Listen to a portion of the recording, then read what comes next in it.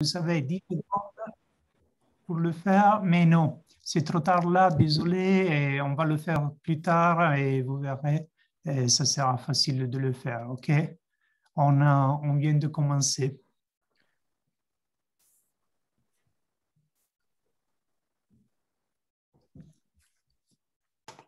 Allora, iniziamo.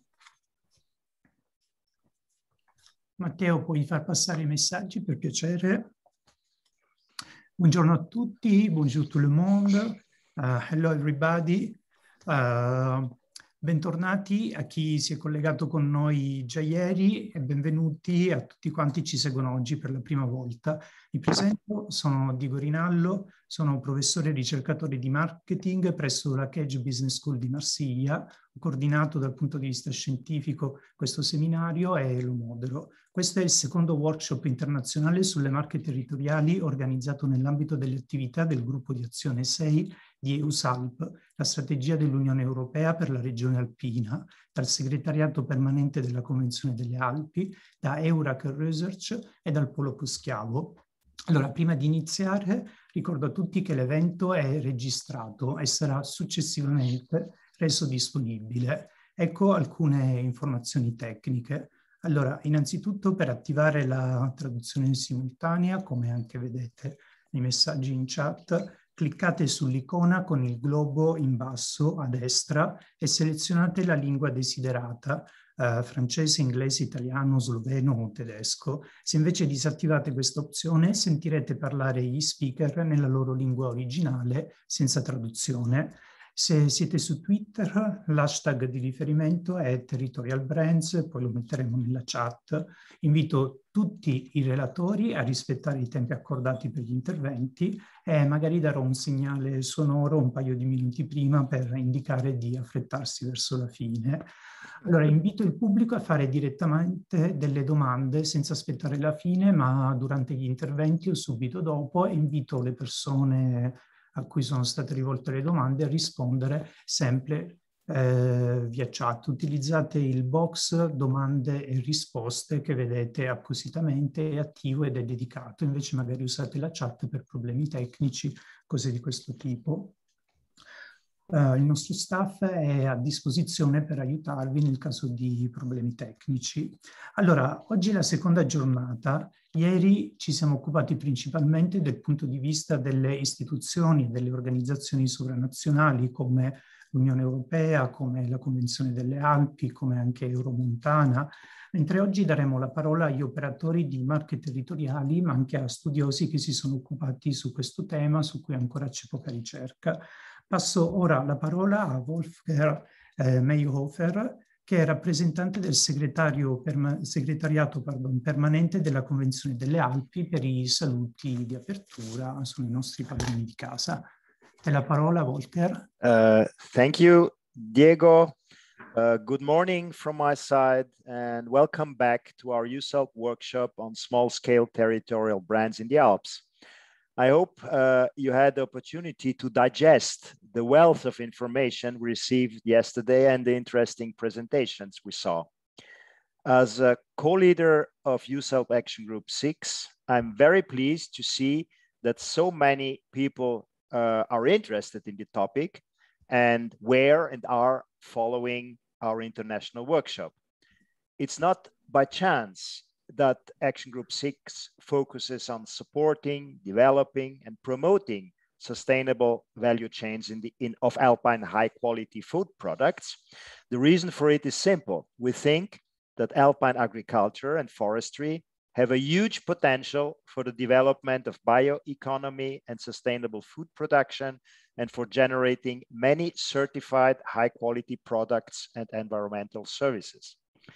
Moreover, increasing the positive impact territorial brands can have on the sustainable development of alpine areas by defining environmentally friendly product specifications and by helping local actors to adapt to climate change and to mitigate its effect corresponds also to the spirit and to the letters of the Alpine Convention and in particular to its protocol on mountain farming which uh, was already mentioned yesterday by our Secretary General. Uh, as Diego said, we got yesterday an overview about the current European political framework. Today's program will concentrate more on the local level, on the practical level, and thus on the socioeconomic aspects of territorial branding. Personally, I find it quite impressive that the speakers come from all parts of the Alpine region and reflect the variety of existing small-scale production and distribution systems. This does not come as a surprise because there are already many initiatives ongoing in the Alpine region, which makes the theme of our event not only important, but highly relevant. Uh, I also wanted to mention that USO Action Group 6 is currently undertaking a mapping of territorial brands with the aim to assess the presence, the functioning, and the application of these commercial valorization instruments in the Alpine region.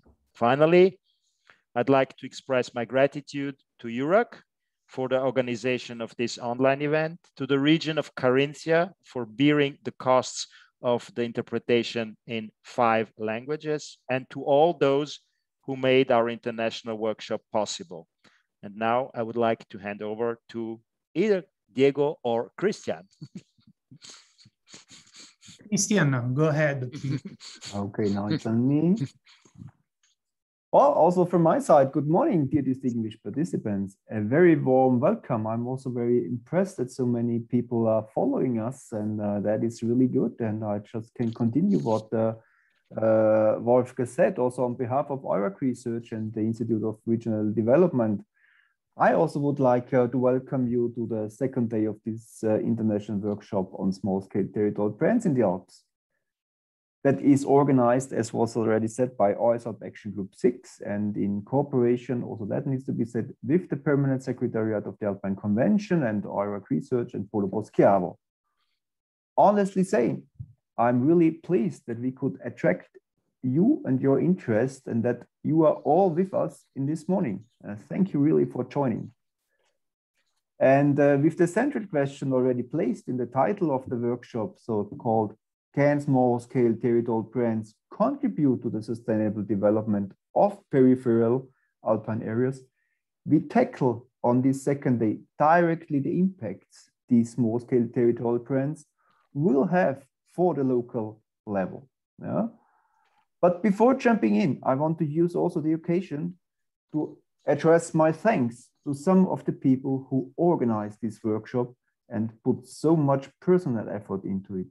And at first hand, this is of course uh, Diego from the Catch Business School, who is guiding us so nicely and so warmly through the workshop and is moderating that perfectly our initiative and event. The second thank goes to Elisa Agosti from the Institute of Regional Development, who assisted Diego in preparing all the details in the background. And of course, it goes also to the Alpine Convention, to Wolfgang and to Lisa Ellemunter, who provided us, as Wolfgang said, with financial support and also with their networks to get some keynote speakers on board. And the last thank goes to the big think tank behind all these initiatives regarding territorial brands and the relevancy of foodstuff for the cultural heritage, who also brought these topics on the agenda of OISAL uh, and who promotes local food initiatives since years. And that's Cassiano Luminati from Polo Boschiavo. And all many thanks goes also to him for supporting us. And I'm convinced that this interesting program of this morning will provide us with fruitful and interesting talks and practical orientated discussions that will tackle a broad range of experiences and perspectives from different territorial brands from various alpine areas so that we get sensitized. And that is, I think, very important for the future challenges these territorial brands need to tackle to become even more effective and visible. So let's start, and I wish us a good, good and fruitful morning. Grazie mille, grazie mille Christian, questo intervento, questo intervento efficace. E adesso ho la parola, ho il piacere di dare la parola a Eric Logar, che è un ricercatore dell'Istituto di Geografia Anton Melik del Centro di Ricerca dell'Accademia Slovenia delle Scienze e delle Arti. Eric ha condotto uno studio senza uguali nel panorama accademico attuale sulle marche territoriali slovene, uno studio comparativo e ci parlerà dei risultati principali della sua ricerca. Vedo che ci ha condiviso lo schermo. A te la parola, Eric. Ja, eh, spoštovani, eh, lepo pozdravljeni iz Ljubljane. Eh, upam, da vidite moj zaslon, Diego. Um, v naslednjih 15 minutah vam bom na kratko predstavil s, uh, svojo doktorsko nalogo, ki jo pripravljam v sklopu svojega doktorskega študija. Moje ime je Erik Logar, sem raziskovalni asistent na, na znanstveno-raziskovalnem centru Slovenske akademije znanosti in umetnosti, uh, sem pa tudi doktorski študent geografije na Univerzi v Ljubljani. Naslov tega prispevka so razvojni izzivi teritorijalnih znank na podeželskih območjih v Sloveniji. Namreč, kadar govorimo o teritorijalnih znankah, pogosto razpravljamo o pozitivnih prispevkih, o tistem dobrem, kar znanke prinašajo na območja, vendar pa se je prav, da se pogovorimo tudi o težavah in izzivih, ki se pri razvoju teritorijalnih znank pravzaprav vse čas pojavljajo. Samo na kratko o podeželskih območjih v Sloveniji.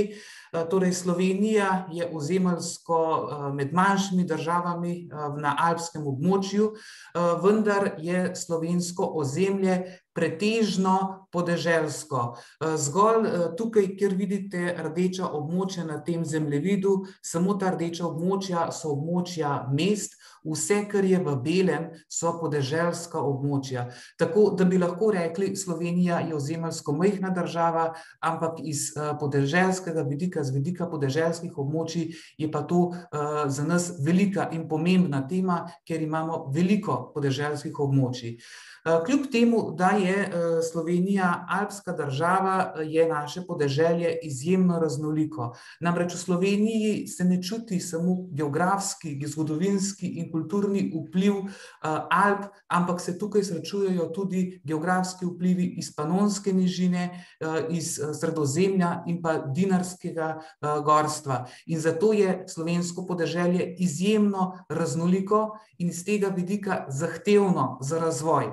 Tako kot vsa podeželska območja po Evropski uniji, se v Sloveniji ves čas ukvarjamo z vprašanjem, kako podeželje razvijati na način, da bo ostalo konkurenčno v globalni ponudbi, v globalni ekonomiji. Namreč konkurenca se ves čas kropi, krepi in podeželska območja se morajo soočiti z vprašanjem, kako biti privlačna, kako biti tržno uspešna tudi v tem postindustrijskem obdobju.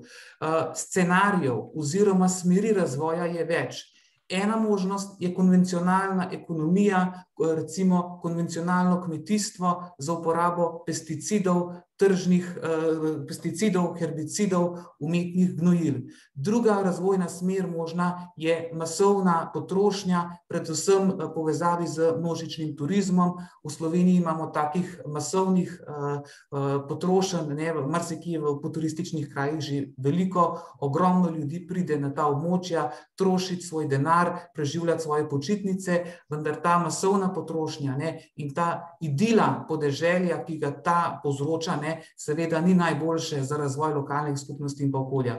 In tretja razvojna smer, ki je nekako, zdi se najboljša, čeprav ni vedno lahka, ne, je smer trajnostnega razvoja, kjer se lokalne skupnosti in njihova gospodarstva razvijajo tako, da se tudi okolje ohranja čim bolj neokrnjeno. V Sloveniji se z razvojem podeželja zadnjih trideset let ukvarja številna, torej številni programi razvoja podeželja so bili implementirani, financirala jih je tako država Slovenija kot tudi občine in pa seveda evropska sredstva, predvsem iz sklada skupne evropske politike. Zasebna sredstva so pa precej redka.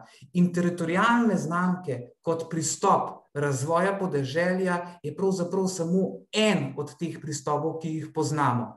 Ta pristop teritorialnih znamk kot torej pristop za razvoj podeželskih območij, smo v Sloveniji prinesli iz sosednje Avstrije, iz severne Italije in iz Švice. Ta pristop nam je bil všeč, drugo vprašanje pa je, kako uspešno smo ga prilagodili za torej, tukajšnje lokalne razmere v družbi in pa gospodarstvu. Problem je, ker smo ta pristop teritorijalnih znank v Slovenijo množično vnašali, ampak nimamo pa nobenega enotnega registra teritorijalnih znank in niti nimamo doslej nobene študije, ki bi na ravni države na ravni vseh podeželskih območij v Sloveniji lahko osvetlila, kakšni učinki pravzaprav so, kakšne razvojne učinke imajo te teritorijalne znamke. Zato bo ta predstavitev nekako vodijo jih dva vprašanja. Prvič, ker nimamo registra, bomo samo na hitro pogledali, koliko teh teritorijalnih znamk v Sloveniji sploh je, torej to je kratko bomo samo pogledali, in drugo vprašanje, ki je pa bolj osrednjo, kakšni učinki so pravzaprav, kako se pravzaprav ti učinki teritorijalnih znamk vidijo na podeželskih območjih in ali lahko pri tem lahko vidimo tudi kakšen problem oziroma razvojni izziv. Zdaj, ko sem prišel pred tremi leti tukaj v službo, so mi rekli, da bo doktorat o teritorijalnih blagovnih znamkah in da jih imam približno deset registranih. Potem sem pa pričel proučevati in raziskovati in sem jih našel petinštirideset in ta številka še vedno raste, kar pomeni, da imam res ogromno dela, seveda vse vse znamke nisem mogel proučiti v podrobnosti, ne, ampak vseeno, torej petinštirideset znamk imamo v Sloveniji, teritorijalnih znamk. In zato smo sistematično s pomočjo ankete anketirali vse občine v Sloveniji, torej občine so para Nós osnovna institucija nekako, ki je, ki se ukvarja z lokalnim razvojem, in smo ugotovili, da od dvesto dvanajstih občin v Sloveniji jih ima približno petdeset vzpostavljeno teritorialno blagovno znamko. Na tem zemljevidu so občine, ki imajo vzpostavljeno znamko, obarvane v temnozelenem. Občine, ki so obarvane s svetlo zeleno barvo, so pa ravno v postopku vzpostavljanja, torej znamka še ni registrirana. No, vidite, približno ena četrtina občin ima to vzpostavljeno, s časovnega vidika vidite, najstarejše teritorialne znamke v Sloveniji so bile vzpostavljene leta dva tisoč ena in dva tisoč dva, potem pa se vsako leto nekaj znamk ustanovi vse do lanskega leta dva tisoč dvajset, ko je raziskava potekala. Torej približno dvajset let obdobja vzpostavljanja teritorialnih znamk v Sloveniji imamo. No, to ni edina prostorska raven, imamo tudi lokalne akcijske skupine, ki imajo svoje blagovne znamke in pa zavarovana območja, to so različni parki, ki imajo tudi svoje teritorialne znamke, vendar je teh znamk mnogo manj in jih bomo zdaj samo, samo toliko, da imate občutek, da v Sloveniji so občine in pa lokalne akcijske skupine in pa zavarovana območja tiste institucije, ki te znamke imajo registrirane. Če naredimo, tole je skupna karta, približno, ki nam pove, da približno polovica ozemlja v Sloveniji je tako ali drugače vključeno v teritorialno blagovno znamko, ne. In tukaj vidite, da pravzaprav, torej približno polovica jih je vključenih, to pa še ne pomeni, da se na teh območjih dejansko pozitivni učinki razvoja teh znamk čutijo. Zdaj pa gremo na drugo vprašanje, ki je bolj pomembno, bolj bistveno za to predstavitev. Kakšni pa so učinki teh teritorialnih znamk in ali se morda pri samem razvoju znamk začutijo tudi kakšni problemi ali konflikti pri razvoju teh znamk? Tukaj pa nismo delali raziskave s pomočjo ankete, ampak intervjujev. Vse znamke, torej vse menedžerje teh znamk, petinštirideset, smo intervjuvali. Potem smo pa še izbrali osem znamk in uh, v okviru teh znank uh, naredili 80 intervjujev z uh, proizvajalci oziroma ponudniki, uh, ki so vključeni v te teritorijalne znamke. Skupaj pomeni to 120 intervjujev, to je ogromna baza podatkov, s pomočjo uh, računalniške analize smo to, uh, te, to vse analizirali in prišli do naslednjih ugotovitev. Uh, ponudniki, Eh, seveda čutijo pozitivne učinke teritorijalnih znamk. Najprej, kar izpostavljajo, je, da eh, pravzaprav s pomočjo eh, tega, da sodelujejo pri teritorijalnih znamkah, se izboljšajo njihove tržne in pa prodajne poti. Eh, različni kotički, kjer se prodajajo v trgovinah, prodajne police. To so pravice, ki jih ponudniki dobijo s pristopom k teritorijalni znamki. Tukaj imamo recimo primer ene trgovine iz enega malega, lepega mesta v Sloveniji, Škofja Loka, kjer imajo posebne police v trgovini, ki, se, eh, ki so namenjene samo lokalnim ponudnikom s to znamko. Druga možnost je pristop k posebnim online trgovinam. Ne? Torej, izboljšajo se njihove prodajne poti. Vidite, to je ena stvar, ki je dobra. Druga stvar je, da imajo ponudniki tudi možnost konzultacij, posvetovanj, ne? ker številni ponudniki uh, imajo šte, uh, ne, ogromno vprašanj glede trženja, glede pravnih vprašanj, glede izdelave embalaže in vse to uh, teritorijalne znamke lahko ponudijo svojim ponudnikom. Ne? Uh, številni ponudniki imajo težave z embalažo, ne vedo, kako je najbolje, ne vedo, kako je najbolje zapakirati svoj produkt tako, da je privlačen za kupca. In tukaj imamo naprimer primer ene tradicionalne slovenske potice, torej to je sledica, zelo stara, tradicionalna jed v Sloveniji, ki je zapakirana v eno novo eh, podobo, ki je privlačna za kupce in zgleda zelo profesionalno. No, torej, izgled embalaže se izboljša.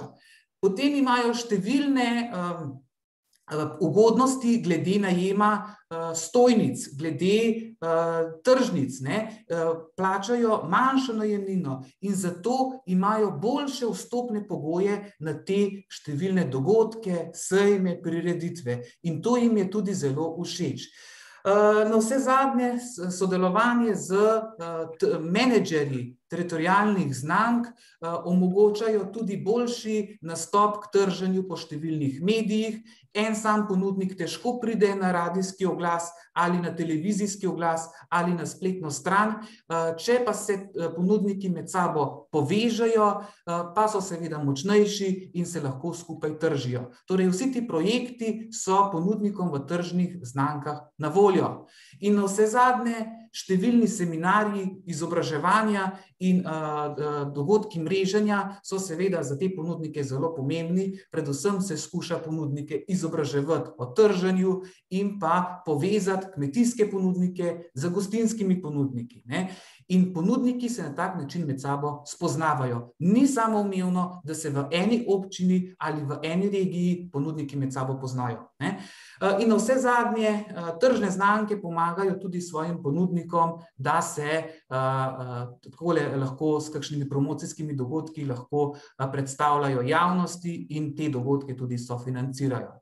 Spoštovani, to so bili pozitivni učinki. Imamo pa tudi negativne in zlasti o teh bi se rad zdaj z vami pogovoril. Številni izzivi so glede razvoja teritorijalnih znamk z vidika ponudnikov. Ponudniki zaznavajo, da so pogosto te znamke razvijane od zgoraj na vzdolj. Inicijativa pride od inštitucij, in nekako ne posluša ponudnikov, eh, kaj želijo, ne posluša njihovih potreb, njihovih želja. In ta top-down pristop je izrazito močen v Sloveniji. Po drugi strani pa tudi uh, bottom-up proces uh, na podeželskih območjih v Sloveniji uh, marsikaj ne deluje dobro, premalo je angažmaja ponudnikov, lokalna skupnost je apatična in to je izziv, kako pravzaprav ukrepiti ta bottom-up approach. Marsikaj druge tudi po alpskih območjih in še kje druge je to uh, težava. Druga stvar. Uh, menedžeri teritorijalnih znank se pogosto soočajo uh, s tem, da so preobremenjeni. Ne?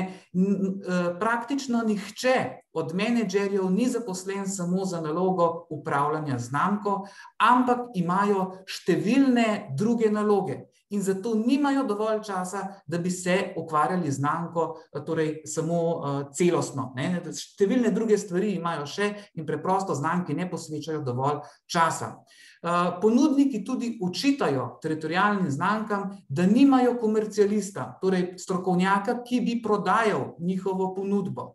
Ne? In zaradi tega praktično vsi ponudniki v Sloveniji izpostavljajo, da zaradi teritorijalnih znamk doslej niso imeli dobička. Čeprav dobiček ni edini vidik uspeha, dobička doslej niso imeli, ali pa ga je bilo zelo malo. Um, tretja stvar, ki je v Sloveniji težava ne, pri teh teritorijalnih znamkah, da ni dolgoročnega financiranja. Pogosto so te teritorijalne znamke vzpostavljene s pomočjo evropskih projektov, ki trajajo dva, morda tri leta. Ko se projekt zaključi, seveda ni več denarja za uh, delovno silo, torej za zaposlene, ni več denarja za razvoj in zaradi tega ti projekti potem zastanajo ali pa propadajo. In ponudniki so teh projektov in te kratkoročne logike financiranja siti in včasih niti ne želijo več sodelovati, ne? ker ni te dolgoročne perspektive. Zlasti mladi, mladi kmetje, mladi podjetniki v teh teritorijalnih znamkah ne vidijo vrednote, ne vidijo doprinosa. No, in to je problem, ker ponudniki so večinoma že precej uh, stari, nekateri celo že upokojeni. Številni ponudniki imajo zelo omejene zaloge, niso sposobni zalagati gostincev za vse leto, ampak jim te zaloge zelo hitro zmanjka. Naprimer, imamo ponudnika čebelarja, ki na leto pridela 50 kozarcev medu. Nemogoče je, da bi tak ponudnik za vse leto zalagal, da bi za vse leto zalagal uh, o, um, neko gostilno. No, uh, cena Eh, znamčenih proizvodov je eh, običajno zelo visoka. Ne? In to je tudi uh, težava, ker pravzaprav tu ni dosegljivo za vse uh, kupce. In še na zadnje, ponudniki med sabo mm. ne prepoznajo Eh, ne prepoznajo um, visokih, uh, torej ne prepoznajo koristi mreženja, ne prepoznajo nekih učinkov sodelovanja, ni nekih projektov, ki bi iz tega ven se uh, razvili. Tako, spoštovani, z mojo predstavitvijo smo pri koncu. Uh, nekako, če zaključim, uh, problem je, ker so, naša, ker so pričakovanja glede teritorijalnih znank v Sloveniji pogosto uh, preniska, Eh, ker ni nekih dolgoročnih načrtov in ni nekih strategij, kako te cilje doseči. Toliko z moje strani, če ima kdo kakšno vprašanje, eh, desno vidite tudi moj eh, kontakt, moj e-mail, za tiste, ki vas zanima več, ali pa če imate kakšno pobudo, inicijativo, z veseljem napišite mi e-mail, z veseljem z vami sodelujem. Hvala lepa in lepo zdrav. Grazie, grazie mille Eric. Eh, ci hai fatto proprio un ritratto del meglio di quello che possono fare i brand territoriali, ma anche, ed era anche l'obiettivo queste due giornate, di mettere in luce di cosa si può fare meglio. E ci hai dato proprio, il tuo keynote ci ha dato proprio uh, le condizioni ideali perché come se avete visto il programma, adesso abbiamo dei rappresentanti di marche territoriali, ma anche delle aziende che sono membri di marche territoriali e quindi è interessante mettere il... Mettere, se mi sentite, qualcuno mi dice che... Non sento, mi sentite bene? Ok? Ok, grazie mille, scusate. Dicevo, è interessante mettere insieme i punti di vista. Allora, ho il piacere di presentarvi adesso rappresentanti di due territori che hanno già delle marche territoriali che funzionano e di un territorio che sta pensando di stabilirne una, quindi sono diversi momenti del ciclo di vita di queste iniziative. Allora ve li presento, sono uh, Monsieur Pascal Denolly della marca Iser in Francia, il signor Michael Fend dell'Austria, che è rappresentante dell'Associazione di gestione per la promozione di Vulcanland, la regione dei vulcani della Stiria in Austria, e infine il signor Michael Hofer, che è Managing Director della cooperativa dei cittadini dell'Alta Val Venosta, che è stata un'area coinvolta nel progetto 100% local di cui Christian Hoffman ci ha parlato ieri. Allora darei subito la parola al signor Denolli. Monsieur Denolli, vous pouvez partager votre écran, s'il vous plaît.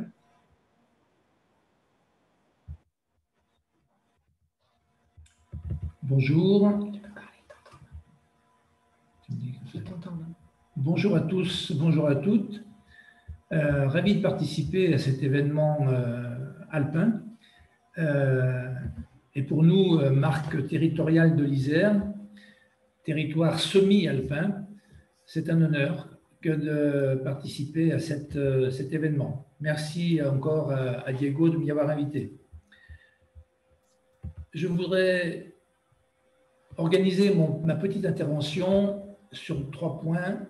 Premièrement, la manière dont la marque a émergé. Deuxièmement, quel est son cahier des charges. Et troisièmement, sont, quel est sa, son, quels sont ses liens avec les plus petites marques et puis une marque régionale. D'abord, rappeler que cette émergence euh, s'est faite suite à une grave crise agricole de 2015-2016 où le lait notamment, mais également les céréales et la viande, étaient dans le commerce général très mal rémunérés. La volonté de la Chambre d'agriculture et du département de l'Isère était de bâtir une alternative à un système que je qualifierais de rustine, où l'on bouche des trous ponctuellement en venant au secours des entreprises, mais où on, où on, ne fait rien sur le long terme. La volonté était de bâtir ce que nous avons appelé des filières alimentaires de proximité. Nous avons parié sur le fait que, en parlant aux 1 250 000 Isérois, en leur parlant de la qualité des produits agricoles et alimentaires qui s'y produisaient, nous devions pouvoir reprendre des parts de marché dans des rayons qui étaient fortement colonisés, si je puis dire, par des produits plus banals, par des marques de distributeurs, etc. Vous dire tout de même que nous pâtissions, nous, nous avions la faiblesse inhérente à un département peu typé, qui n'a pas une identité forte, comme par exemple les Savoies, comme euh, je pourrais dire euh, le Tyrol euh, en Italie ou en Autriche. Et donc, il y avait à la fois à convaincre les producteurs, les transformateurs et les consommateurs qu'il y avait dans ce département une alimentation originale, de qualité, qui pouvait satisfaire les consommateurs dans leurs besoins et obtenir une juste rémunération vers l'amont, vers la production, parce que c'était ça, vous l'avez compris, le deal de départ, le, marché de départ, c'était bien de rémunérer mieux les producteurs. Donc, notre marque est alimentaire, clairement alimentaire, et associe à la fois les producteurs, le monde de la transformation, essentiellement des artisans, et la distribution. D'ailleurs, notre premier développeur venait du monde de l'industrie et connaissait parfaitement les rouages de la distribution et de la transformation. Nous avons donc dû négocier une convention avec l'INAO, l'Institut national des, appellations d'origine, pour positionner avec trois valeurs les produits de la marque Isir. Les trois valeurs sont l'origine, une garantie d'origine. Quoi qu'il en soit, le produit est produit sur l'Isère. Qu'il soit transformé ou pas, il est produit, il vient de l'Isère. Deuxièmement, il garantit une juste rémunération aux producteurs. C'est un élément extrêmement important.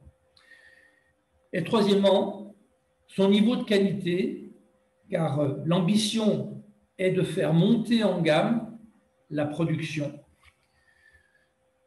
Son niveau de qualité doit être soit bio, soit HVE, haute valeur environnementale.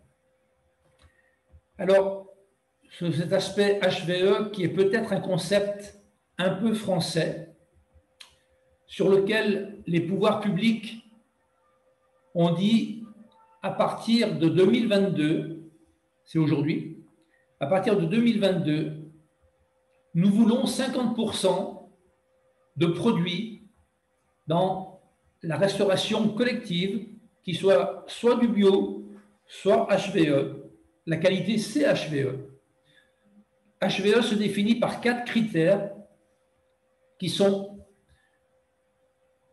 des aspects, un impact positif sur la biodiversité, une maîtrise de l'utilisation de l'eau, une faible utilisation des produits phytopharmaceutiques et une maîtrise, voire euh, une maîtrise de la fumure, des, intrants euh, de la fumure, qui sont pour faire tendre les agriculteurs vers une utilisation des produits organiques plutôt que des produits de synthèse. Donc vous voyez bien qu'il y a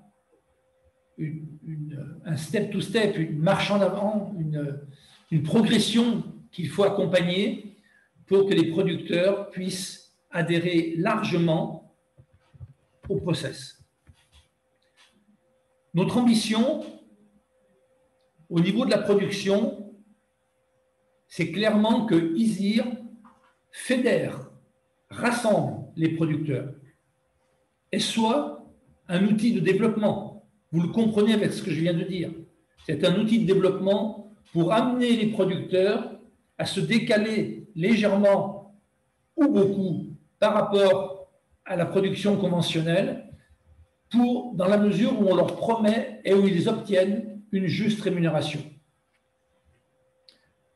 Moi, le paysan, moi, l'agriculteur, je ne peux pas accepter d'embarquer mes collègues dans vers un leurre. Je leur promets 10 à 15% de rémunération supplémentaire avec cette démarche. Pour les distributeurs, il s'agit aussi d'avoir une marque qui valorise l'origine locale et qui leur permette de communiquer vers les consommateurs. Et pour le consommateur, il, lui, il faut que nous donnions cette,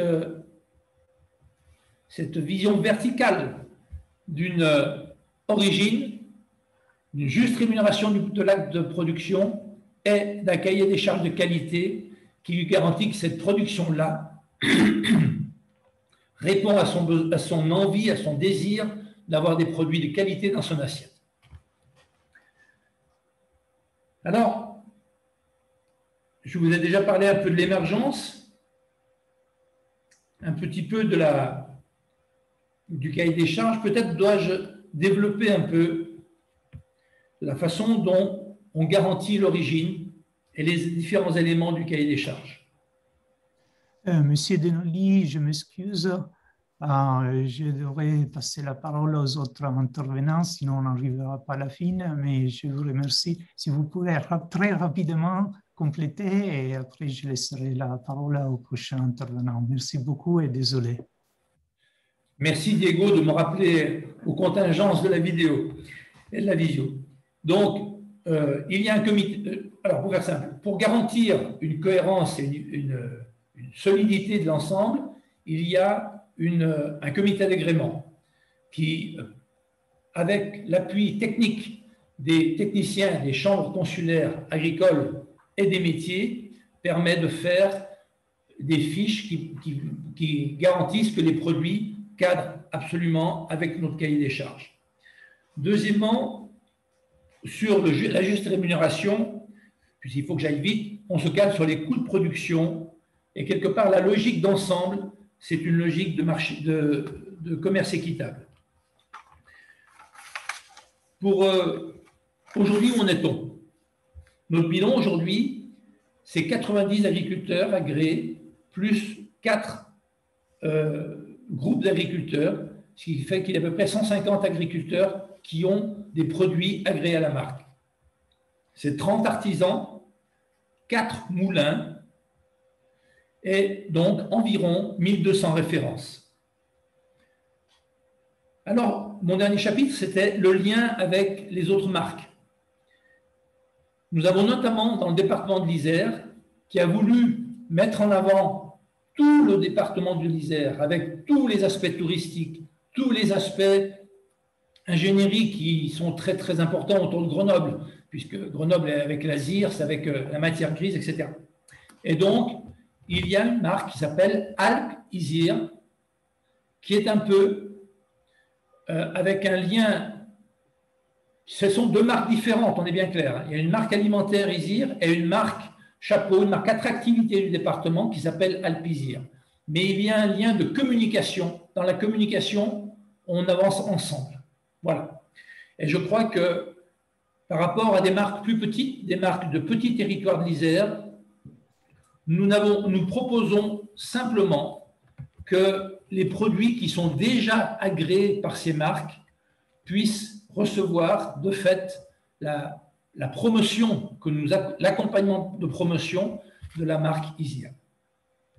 J'aurais pu dire deux points sur le financement. Nous avons la chance d'avoir un filet de sécurité qui nous est garanti par le département et par la métropole de Grenoble. Mais ceci, ce sont des éléments de départ et nous bâtissons un plan de marche en avant qui doit être autonome. Merci, merci beaucoup, Monsieur Denoli, pour avoir à, ces, à, cet atelier ce regard vraiment français sur la façon d'organiser les marques territoriales aussi hein, par rapport aux des autres marques euh, touristiques, comme vous l'avez. C'est vraiment très intéressant et c'est dommage qu'on n'a pas une heure pour vous écouter, pour écouter les autres interventions, mais c'est un peu la logique de cette démarche de donner un regard peut-être più superficiale, mais su tutti i paesi dell'arc alpin. Uh, grazie mille veramente e cedo subito la parola a Ero uh, Fend della marca Vulcan Land a cui chiedo di presentare la sua realtà.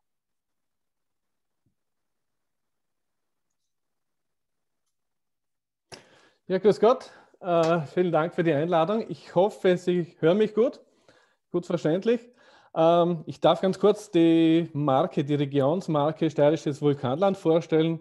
Ähm, Im Gegensatz zu vielen anderen Marken, glaube ich, ist unsere Marke sehr stark als Innenmarke konzipiert, äh, die die Region als Ganzes präsentiert. Nicht nur Produkte spielen eine Rolle, aber es geht nicht um Produkte alleine in der Region. Äh, ich werde zur Einführung ein paar Bilder, damit Sie auch sehen, wo wir zu Hause sind, äh, mit Ihnen teilen. So. Wie Sie sehen können, sieht es bei uns nicht sehr alpin aus. Wir sind im außeralpinen Bereich. Bei uns, wenn man auf die Hügel hinaufsteigt, kann man die Berge sehen, aber die Berge sind nicht direkt bei uns zu Hause. Äh, Sie sehen, es ist eine hügelige Landschaft bei uns, sehr zerstreute Siedlungen. Wir sind auch, wie Sie auf der Karte sehen können, im äußersten Südosten Österreichs, in einem sehr spannenden drei bis vier Ländereck, je nachdem, wie man sieht, mit Slowenien, Ungarn und äh, Kroatien. Viele Menschen bei uns sind sich auch nicht bewusst, dass Ljubljana oder Zagreb näher sind als Wien, zum Beispiel unsere eigene Bundeshauptstadt. Ähm, wir sind als Region, als Leaderregion, so wie es schon von Herrn Loga sehr breit erklärt worden ist, äh, entstanden. Als Leaderregion haben wir 31 Gemeinden, ungefähr 1200 Quadratkilometer und 102.000 Einwohner in unserer Region. Nur so viel zum Hintergrund. wie Sie sehen können, äh, eben Weinbau ist bei uns in gewissen Bereichen recht dominierend, aber auch eine sehr vielfältige, bunt strukturierte Landwirtschaft. Ähm, Weizenanbau ist in der letzten Zeit auch stark äh, angestiegen. Ansonsten sehr viel Mais, Schweinezucht, äh, Hühnerzucht. Ähm, Obstbäume spielen bei uns eine zentrale Rolle. Von der Wertschöpfung her in der Landwirtschaft ist das Obst sogar die prägendste Kultur, die wir haben und auch sehr stark landschaftsprägend. Äh, wobei es oft nicht mehr in dieser Form dieser Streuobstkulturen leider vorkommt, da diese ja mit heutiger Landwirtschaft nur sehr schwer finanzierbar sind. Aber hier haben wir Ideen und Ansätze, das zu stärken. Die landwirtschaftlichen Flächen, wie Sie hier sehen können, sind sehr kleinteilig. Es gibt keine großen Felder. Wir haben nirgends größere Flächen. Das heißt, für unsere Region haben wir keine Chance, mit Massenproduktion mitzuhalten. Wir haben keine Chance, mit Skaleneffekten zu arbeiten. Das heißt, wir müssen mit hochwertigen Produkten in einer, andere, in einer anderen Liga mitspielen. Einer, ein guter Vortragender hat es einmal genannt, es gibt nirgends mehr Hirn pro Hektar als bei Ihnen. Und genau diesen Effekt müssen wir auch sehr gut nutzen. Wir haben ein starkes Gewerbe. Ich habe vorhin von Landwirtschaft gesprochen, weil sie natürlich landschaftsprägend ist, aber das Gewerbe, Handwerk spielt bei uns natürlich eine sehr zentrale Rolle. Äh, viele Betriebe sind 10, 20 Mitarbeitern in dieser Größenordnung ähm, und auch sehr sehr flexibel und haben jetzt zum Beispiel auch in der Krise gezeigt, dass sie sich sehr, sehr gut und schnell anpassen konnten und mit neuen Situationen umgehen können. Wir haben jetzt wieder eine Arbeitslosigkeit, bereits wie vor der Pandemie und sind sehr froh darüber und sind stolz auf die Unternehmer, die das so gut meistern konnten. Wir haben einige kleinere regionale Zentren mit 5.000 bis 15.000 Einwohnern und ansonsten sehr stark verstreute Siedlungen. Ähm, ein Wort zu den Vulkanen noch. Hier, was Sie hier sehen, sind die Gleichenberger Kogel. Wir haben ca. 30 Vulkanschlote in der Region, alle nicht mehr aktiv. Dieser Vulkan, das ist die Spitze eines riesengroßen Vulkanes, wie uns die äh, Geologen sagen, der ähnlich aufgebaut ist wie der Ätna. Uh, nur jetzt schaut er nur wenige hundert Meter heraus und ist großteils unter kilometerdicken Schotterschichten verdeckt, aber er prägt nach wie vor uh, das Bild der Region und auch die Thermen stehen natürlich in diesem Zusammenhang. Für uns als Region ist es ganz zentral, dass wir eine starke Vision haben, wo wir hinwollen, ein gemeinsames Zukunftsbild. Wir nennen es Zukunftsfähigkeit 2025 sind jetzt nur mehr vier Jahre, dass wir es entworfen haben, waren es über zehn Jahre in der Zukunft. Das heißt, wir haben, glaube ich, weit vorausgedacht. Wir wollen das in den Bereichen menschlich, ökologisch und wirtschaftlich erreichen und haben damit ein sehr umfassendes Portfolio an Maßnahmen, die wir gemeinsam umsetzen möchten in der Region als Regionalentwicklung. Und für uns war die Marke in erster Linie ein Vehikel, um diese verschiedenen kleinen Maßnahmen, die in der Region passieren, die Menschen machen, die äh, Ehrenamtliche machen, die in Betrieben geschehen, um diese vielen positiven Dinge für die Region gemeinsam sichtbar zu machen. Ansonsten haben wir tausende kleine Dinge, die nicht gesehen werden und so wird sichtbar, dass das eine, in eine gemeinsame Richtung hinarbeitet, zu einem gemeinsamen großen Ganzen beiträgt und damit quasi das Ganze wesentlich mehr ist als die, die Teile oder als die Summe der Teile nach dem Sprichwort. Und diese Marke Steirisches Vulkanland bündelt das Ganze. Mit dieser Marke haben wir auch dann versucht, eine starke Kooperationskultur in der Region zu prägen, gerade aufgrund der Kleinheit was Sie hier sehen, sind einfach Beispiele regionaler Produktmarken. Hinter jeder dieser Produktmarken stehen aber nicht eine, sondern viele Unternehmer, zwischen drei, vier bis zu 70 oder 100 Unternehmer die, oder Landwirte, die gemeinsam hinter einer Marke stehen und so sich gemeinsam weiterentwickeln und auch gemeinsam nach außen vermarkten. Und unser größtes Netzwerk zum Abschluss möchte ich noch kurz vorstellen, die Meisterkultur. Das ist ein Netzwerk der Regionalwirtschaft, in dem quasi Betrieben als eine Schiene unserer Marke ermöglicht wird, die Marke Vulkanland zu nutzen. Und diesem Netzwerk der Markenlizenz, das ist quasi die Marke im Sinne auch, wie es Herr Dinolli, glaube ich, erklärt hat, ähm, in diesem Netzwerk sind über 200 Markenlizenzen vergeben und insgesamt, da wir auch an Gruppierungen, diese Gruppierungen Net äh, Markenlizenzen vergeben, insgesamt über 650 Betriebe. Und diese Betriebe und diese Markenlizenznehmer haben das Recht, die Marke zu verwenden. Durch diese Markenlizenz, das vergeben, das ist auch markenrechtlich geschützt. Sie bekennen, sie müssen einen Standard in der Region haben, sie müssen eine regionale Eigentümerschaft haben und sie müssen sich zu den regionalen Werten und Ideen bekennen. Und auf eine weitere weiterführende quasi Kontrolle der Produktqualität haben wir auch aufgrund der Vielfalt, die in diesem Markennetzwerk ist und auch aufgrund von viel Bürokratie, die, die es ergibt, haben wir dann verzichtet und das so sehr einfach gehalten und somit ist die Marke quasi kein Produktsiegel, das ein gewisse Gütekriterien erfüllt, sondern eine stark emotional verankerte Regionsmarke, die auch für Produkte verwendet werden kann. So viel mein, für den Start.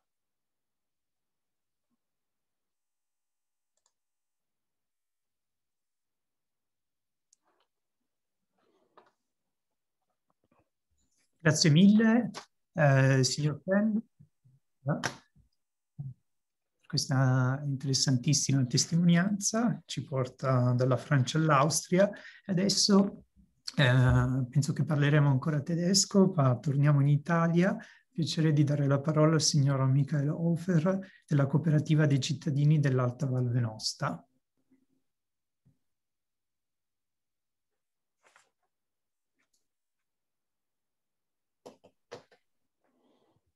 Hallo, schönen guten Morgen. Ähm, mich freut es sehr, dass ähm, ich heute hier sein darf und ähm, den Finchgau, unsere Bürgergenossenschaft Oberfinchgau und unsere Marke da äh, vorstellen darf. Ich weiß nicht, können Sie meinen Bildschirm sehen?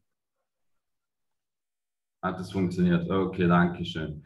Also, der obere Finchgau ist eine Region ähm, in Norditalien, in Südtirol und ähm, wir sind dort vor Ort, also hier im, in den, im Alpenbereich. Ähm, ähm, die nächsten größeren Städte sind Meran und Bozen in Italien.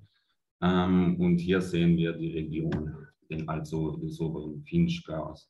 Und hier hat sich in den letzten 10, 15 Jahren ähm, ein zivilgesellschaftlicher Prozess in Gang gesetzt. Also der obere Finchgau ist charakterisiert durch eine noch vielfältige Landwirtschaft. Also wir, wir haben noch Getreideanbau, wir haben Milchkuhhaltung, wir haben auch Gemüseanbau, ähm, ein, ein, paar verschiedene kleine Weinbauern.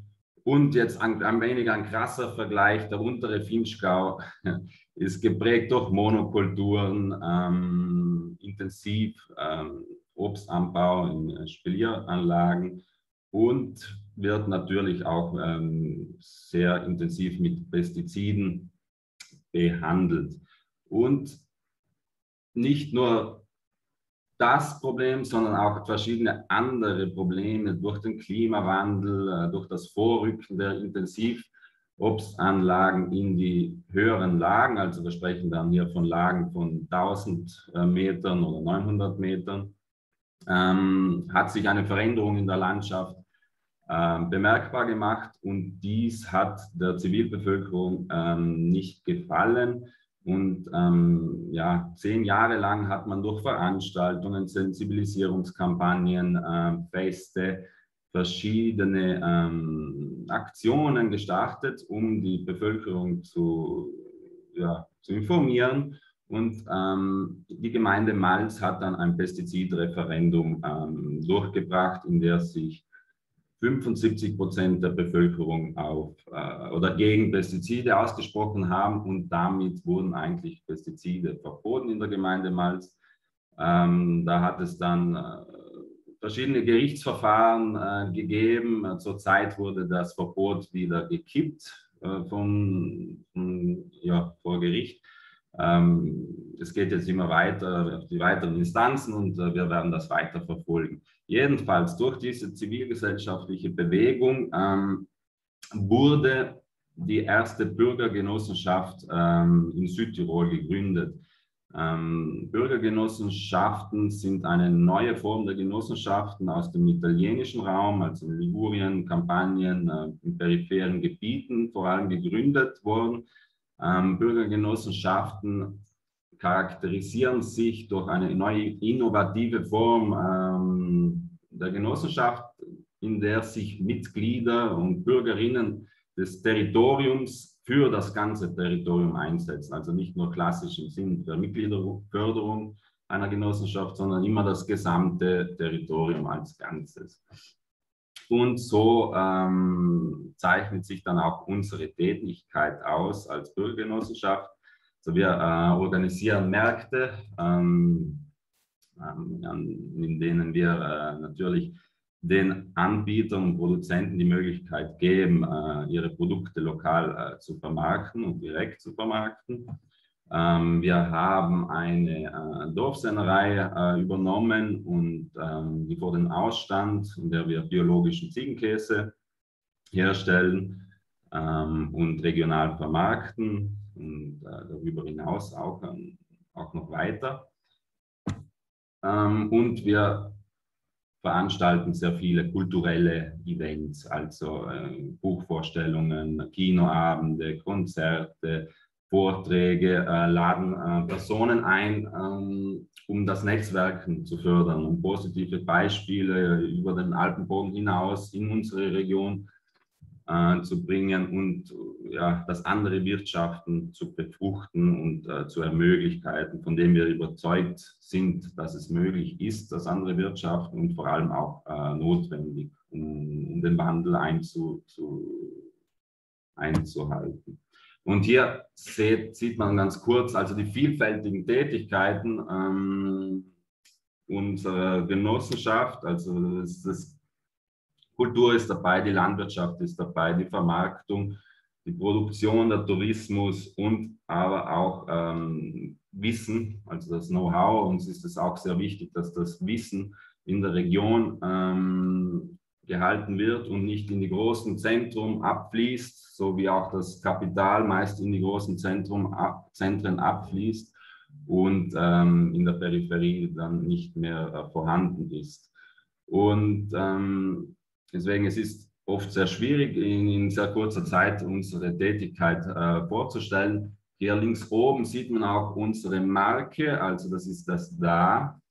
Also ähm, wir schätzen das, was da ist, ist unser Slogan. Ähm, und ähm, den setzen wir also nicht nur in, in, im Lebensmittelbereich um, sondern auch in allen anderen ähm, Bereichen unserer Tätigkeit, sei es jetzt in der Kultur, aber auch im Handwerk und im äh, Tourismus. Wir wollen ähm, auch im Tourismus möchten wir irgendwann ein Gastronomieprojekt äh, verwirklichen, in dem so zum Beispiel das, das äh, Urlaub im Baudenkmal gefördert wird und nicht, also das, was schon da ist, nicht das, was neu gebaut werden muss. Und hier sieht man noch eine kleine Zusammenstellung unserer Tätigkeiten. Ähm, genau. Und ich habe mich versucht, kurz zu fassen und ähm, vielleicht können wir dann danach äh, noch ein bisschen länger äh, plaudern, wenn es Fragen dazu gibt. Dankeschön.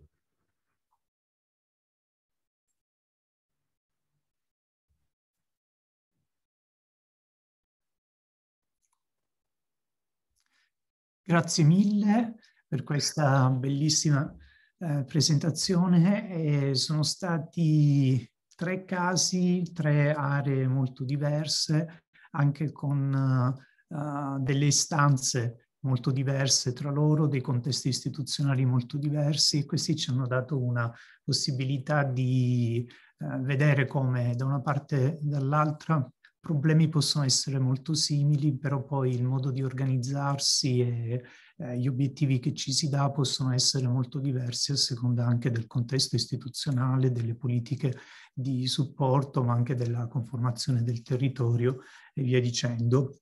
Allora mi sarebbe piaciuto dare la possibilità di parlare di nuovo a tutti quanti, vi avevo eh, indicato tutta una serie di domande su, ad esempio, su quale può essere il ruolo delle politiche pubbliche a diversi livelli, regionale, nazionale, fino a quello europeo, ma nell'interesse del tempo purtroppo dobbiamo muoverci a alla fase successiva. Eh, quindi io vi invito, queste domande che vi avevo fatto sul ruolo delle politiche pubbliche, se avevate preparato già una risposta, di scriverla in chat, che così magari utilizziamo questa funzionalità per iniziare un dibattito, così se rimane in tempo alla fine vi, dirò, vi darò sicuramente di nuovo la parola. E a questo punto mi piacerebbe, oltre a ringraziarvi, eh, passare alla fase successiva e far parlare abbiamo due rappresentanti di eh, due marche territoriali, quindi non dell'organizzazione che gestisce la marca territoriale, ma bensì del, uh, di organizzazioni che ne sono membri. E vorrei dare la parola al signor Reto Rausch della Birreria in Giardinesa, che è una, una birreria eh, pluripremiata per la sua produzione di birra bio. Eh, il signor Reto Rausch con la sua azienda è membro della marca territoriale Bunschlin che copre il territorio del comune di Valsotto in Bassa eh, Engadina che è stato coinvolto anch'esso nel progetto 100% local. Allegra, signor Rausch, eh, è lì, è con noi, ci racconta la sua esperienza con Bunschlin, per piacere?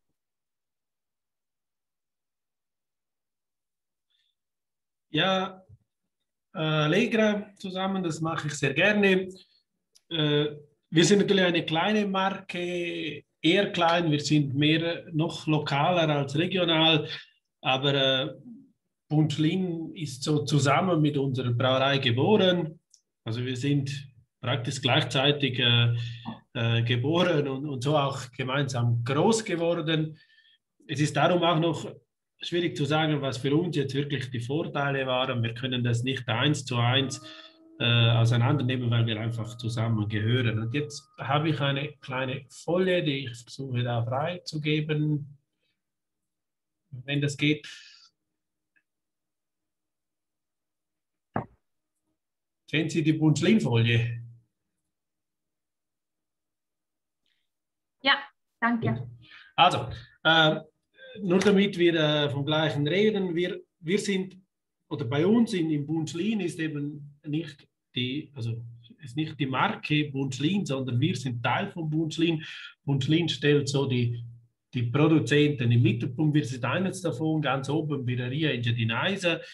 Bei uns treten wirklich alle gleich auf und äh, es sind wirklich unsere Logos. Also wir haben nicht irgendein Markenlogo, den wir mitnehmen und sagen, das ist, äh, wir gehören zu Bunschlin, sondern wir sind einfach Bunschlin. Wir sind Teil davon und ich denke, so schaffen wir den größten Wiedererkennungswert für alle zusammen.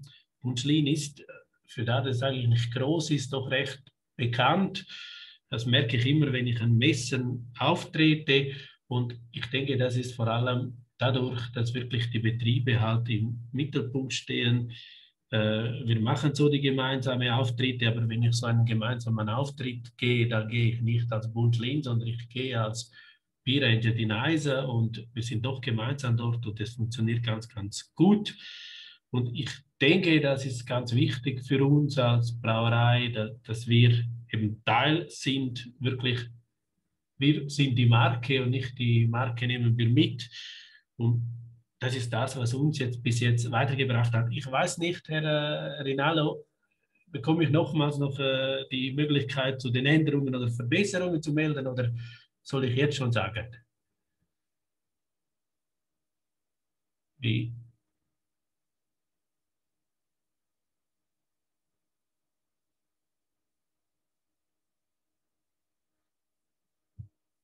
Also dann sage ich jetzt, so wie ich ich äh, geht da mit der Übersetzung irgendwie nicht.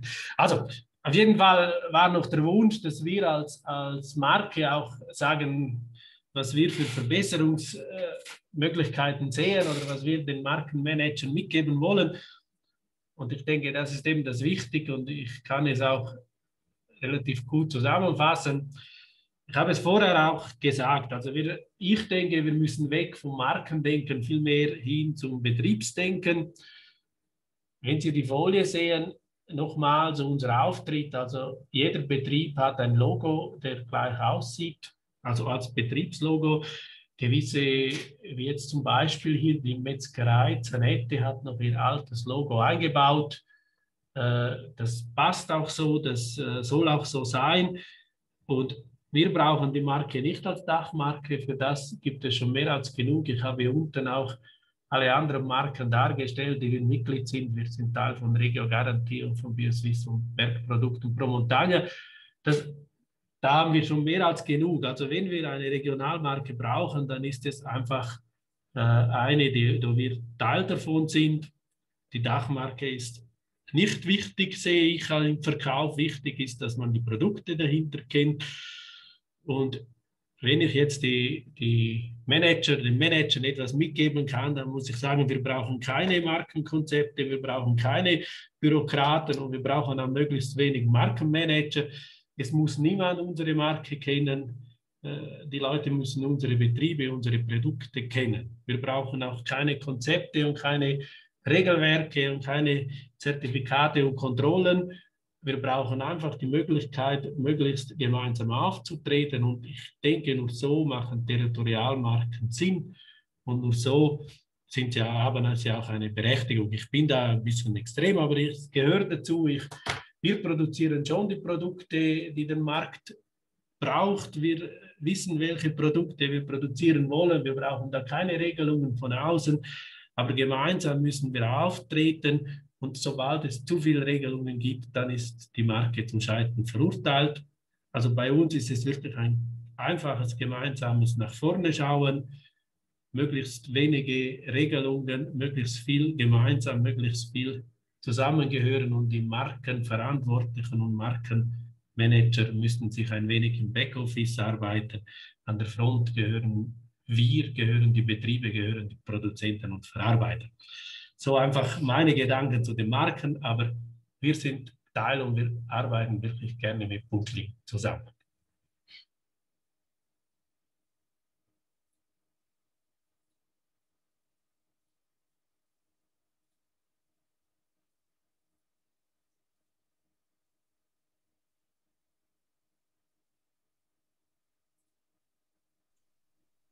il microfono.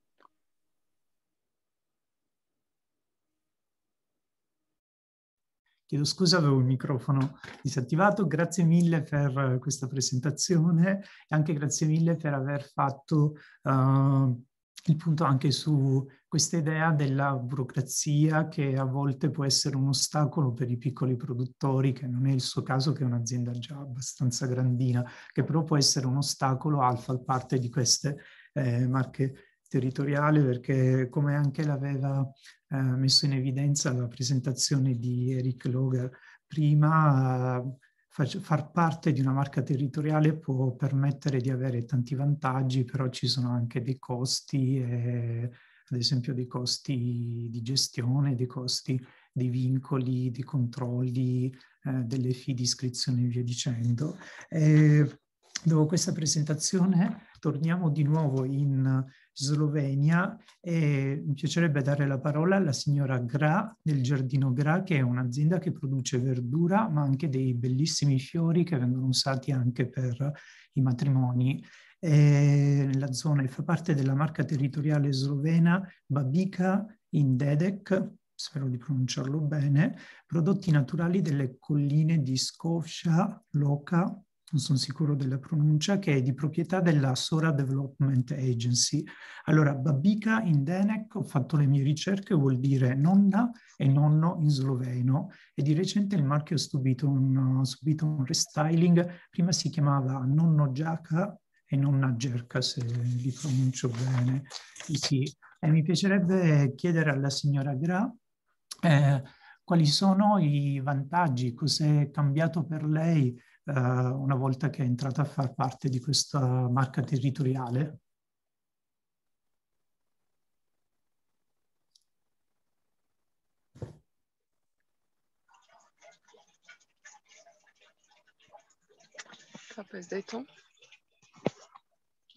Noi la sentiamo, we hear you.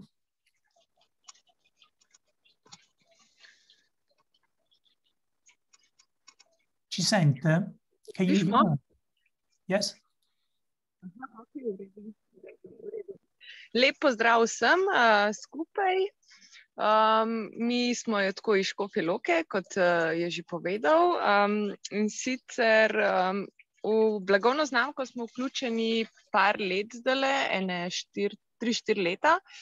Tako da jaz sem zelo vesela, da sem lahko vključena v to znamko. Um, tudi zaradi tega, ker so boljše možno, možnosti prodaje, tako kot je um, Erik že lepo povedal, da se odpirajo trgi. Um, Če si vključen v to blagovno znamko, enostavno te ljudje lažje sprejmejo, neke um, kvalitete moraš zagotoviti uh, s svojimi izdelki. Um, če hočeš biti sploh vključen, kar pomeni, da enostavno dobiš prej zaupanje um, strani kupcev, kot pa če se sam trudiš prodreti na trg, tle je res kuj. Um, kupci so zelo zahtevni in ne zaupajo ti kar tako. Um, Kar od enkrat, če ti ponujaš en izdelek, in če se pa vključiš v blagovno znamko, mislim, da s tem nek predor že, um, oziroma nek um, neko zaupanje že takoj dobiš tudi strani kupcev, eh, bolj te porajtajo, um, lažje je prideti do, do, do trgovin. Tako da, um, kakšne so pa spremembe, um, se, kot sem rekla, vključeni smo, ne vem, štiri, tri leta ali pa mogoče kakšno leto več, no, ne vem, zdaj točno na pamet. Um, tako da, kakšne so bile spremembe v teh treh, štirih letih, jih ne vem, zato ker nisem že od začetka. Se mi pa zdi dobro, no, da, da ta um, blagovna znamka drugače dobro deluje, ima dobre uh, ideje, dobre um, načrte, ki pa niso vedno lih tako v realnosti pol speljani, kot bi si vsi želeli, oziroma ni ta zga efekta, kot bi si pač mi ponudniki želeli od te blagovne znamke. Ni problem v blagovni znamki, problem je, se mi zdi, bolj pri teh projektih, tako kot je že Erik povedal, da so kratkoročno zapeljani, oziroma polkar naenkrat vse se. Ali se pozab, ni več um, um, želje strani tudi trgovcev, ne, da bi sodelovali pri projektih naprej.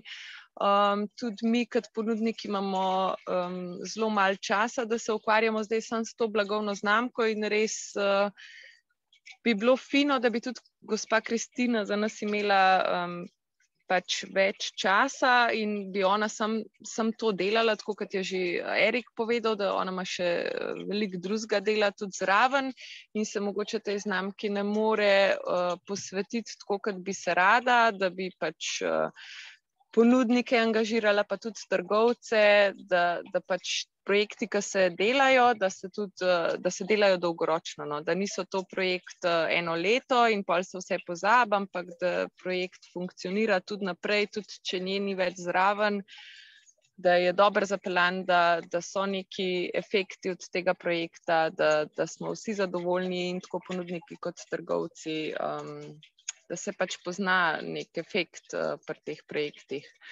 In to se mi zdi tudi največji problem, da, da recimo pri nas um, imamo veliko ponudnikov, ki eni pač ne želijo pristopiti k blagovnim znamkam, eni so pri blagovnih znamkah že dalj časa in tisti, ki so že dalj časa, tisti imajo pač avtomatsko prednost tudi pri trgovcih, ljudje so jih sprejeli, um, jih poznajo, um, trgovci pa mogoče včasih ne dajo lih možnosti tudi drugim mlajšim, um, ki so se kasneje vključili v blagovno znamko, čisto enostavno zaradi tega, ker se jim pač določeni izdelki zelo dobro prodajajo in jih nočejo menjati. Kar je prav, da jih ne menjajo, lahko bi jih pa dodali, ampak jih tudi ne želijo dodati, zato ker pač se jim ena stvar dobro prodaja in niso pripravljeni dodati še kakšne druge ponudbe zraven. Poleg tega je pa tudi tle cena, tako kot je že Erik tudi povedal, te izdelki so le više kakovosti, imajo nek certifikat, preverjanje, so v blagovni znamki in niso dostopni niti pač vsem ljudem, nažalost. Um, nekateri jih pač tudi zaradi cene ne bojo kupili, um, druge je pa pač težko najti, če niso v trgovini jih sami pač verjetno ne bojo poiskali, če jih ne bojo slučajno videli na internetu. Um, Premalo je teh trgovin, ki ponujajo te izdelke, um, in pa tle je zelo, zelo pomembna tudi cena. Tudi ti naši trgovci zelo, zelo s temi svojimi maržami pripomorejo k temu, da so izdelki še dražji. Se mi zdi, da pri nas nimamo lih te pravične trgovine. Um, da bi bil ponudnik zadovoljen s ceno in konec koncev tudi kupec, uh, mislim, da ta posrednik preveč, preveč zase vzame, da bi bilo pač vsem uh, dosegljivo to. Tako, to, to so moje izkušnje z blagovno znamko.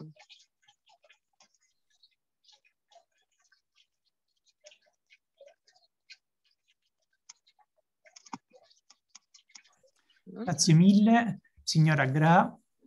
Eh, se posso farle proprio una domanda, una risposta veloce, veloce. Qui ci sono vari territorial brand che ci ascoltano. Da questo punto di vista, cosa possono fare i territorial brand per migliorare la relazione con voi produttori?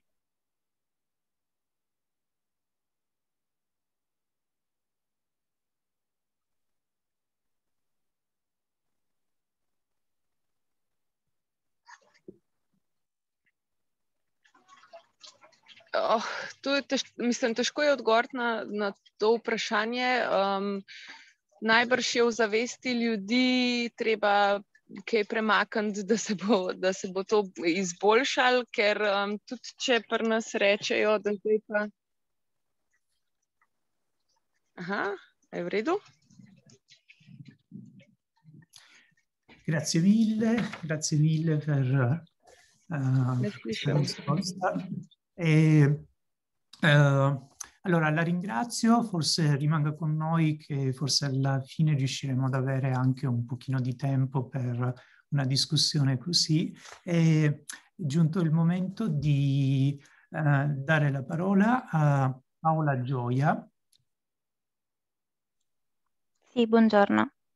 Buongiorno. Allora, Paola ci porta un punto di vista che non abbiamo ancora esaminato. Abbiamo parlato ieri di grandi istituzioni europee, abbiamo parlato di marche territoriali, abbiamo parlato dei produttori che sono membri di marche territoriali e adesso veniamo a parlare di consumatori.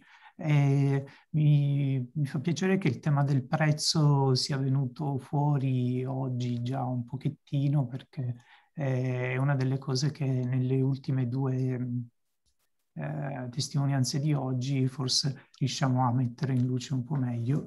Cedo subito la parola a Paola che ci presenterà il suo lavoro di ricerca. Grazie, buongiorno e grazie di avermi concesso l'opportunità di essere qui.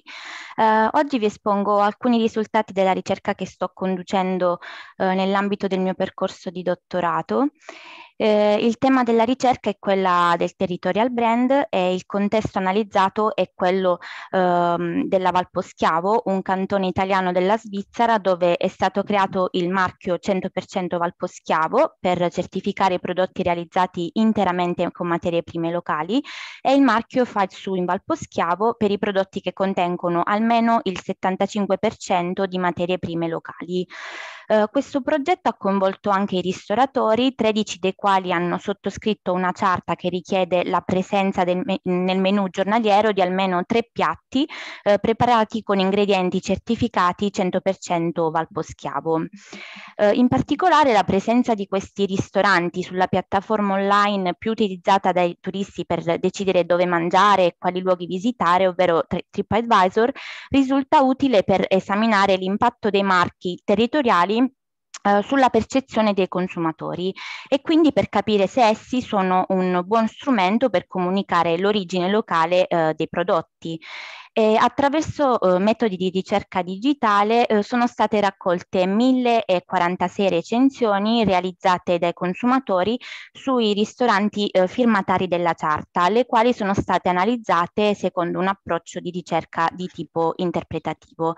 Eh, qui potete osservare alcune recensioni e quindi alcuni riferimenti alla cucina locale, ai prodotti del territorio, eh, qualche commento che apprezza l'attenzione nella scelta degli ingredienti Uh, ma in realtà quello che risulta è uh, che solo in cinque recensioni si fa riferimento al marchio 100% Valposchiavo, cosa che uh, farebbe pensare al fatto che si, ci sia poca co- consapevolezza del marchio sia dal, da parte del consumatore che probabilmente da parte del personale del ristorante che non promuove in maniera adeguata il marchio.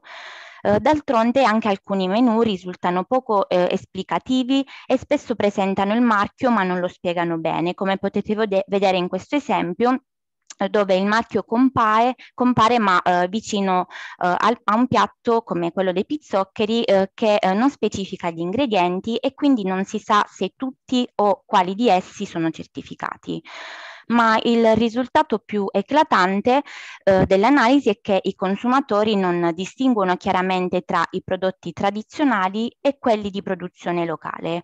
Eh, se guardiamo i numeri, i piatti tradizionali vengono menzionati il doppio delle volte rispetto agli ingredienti locali.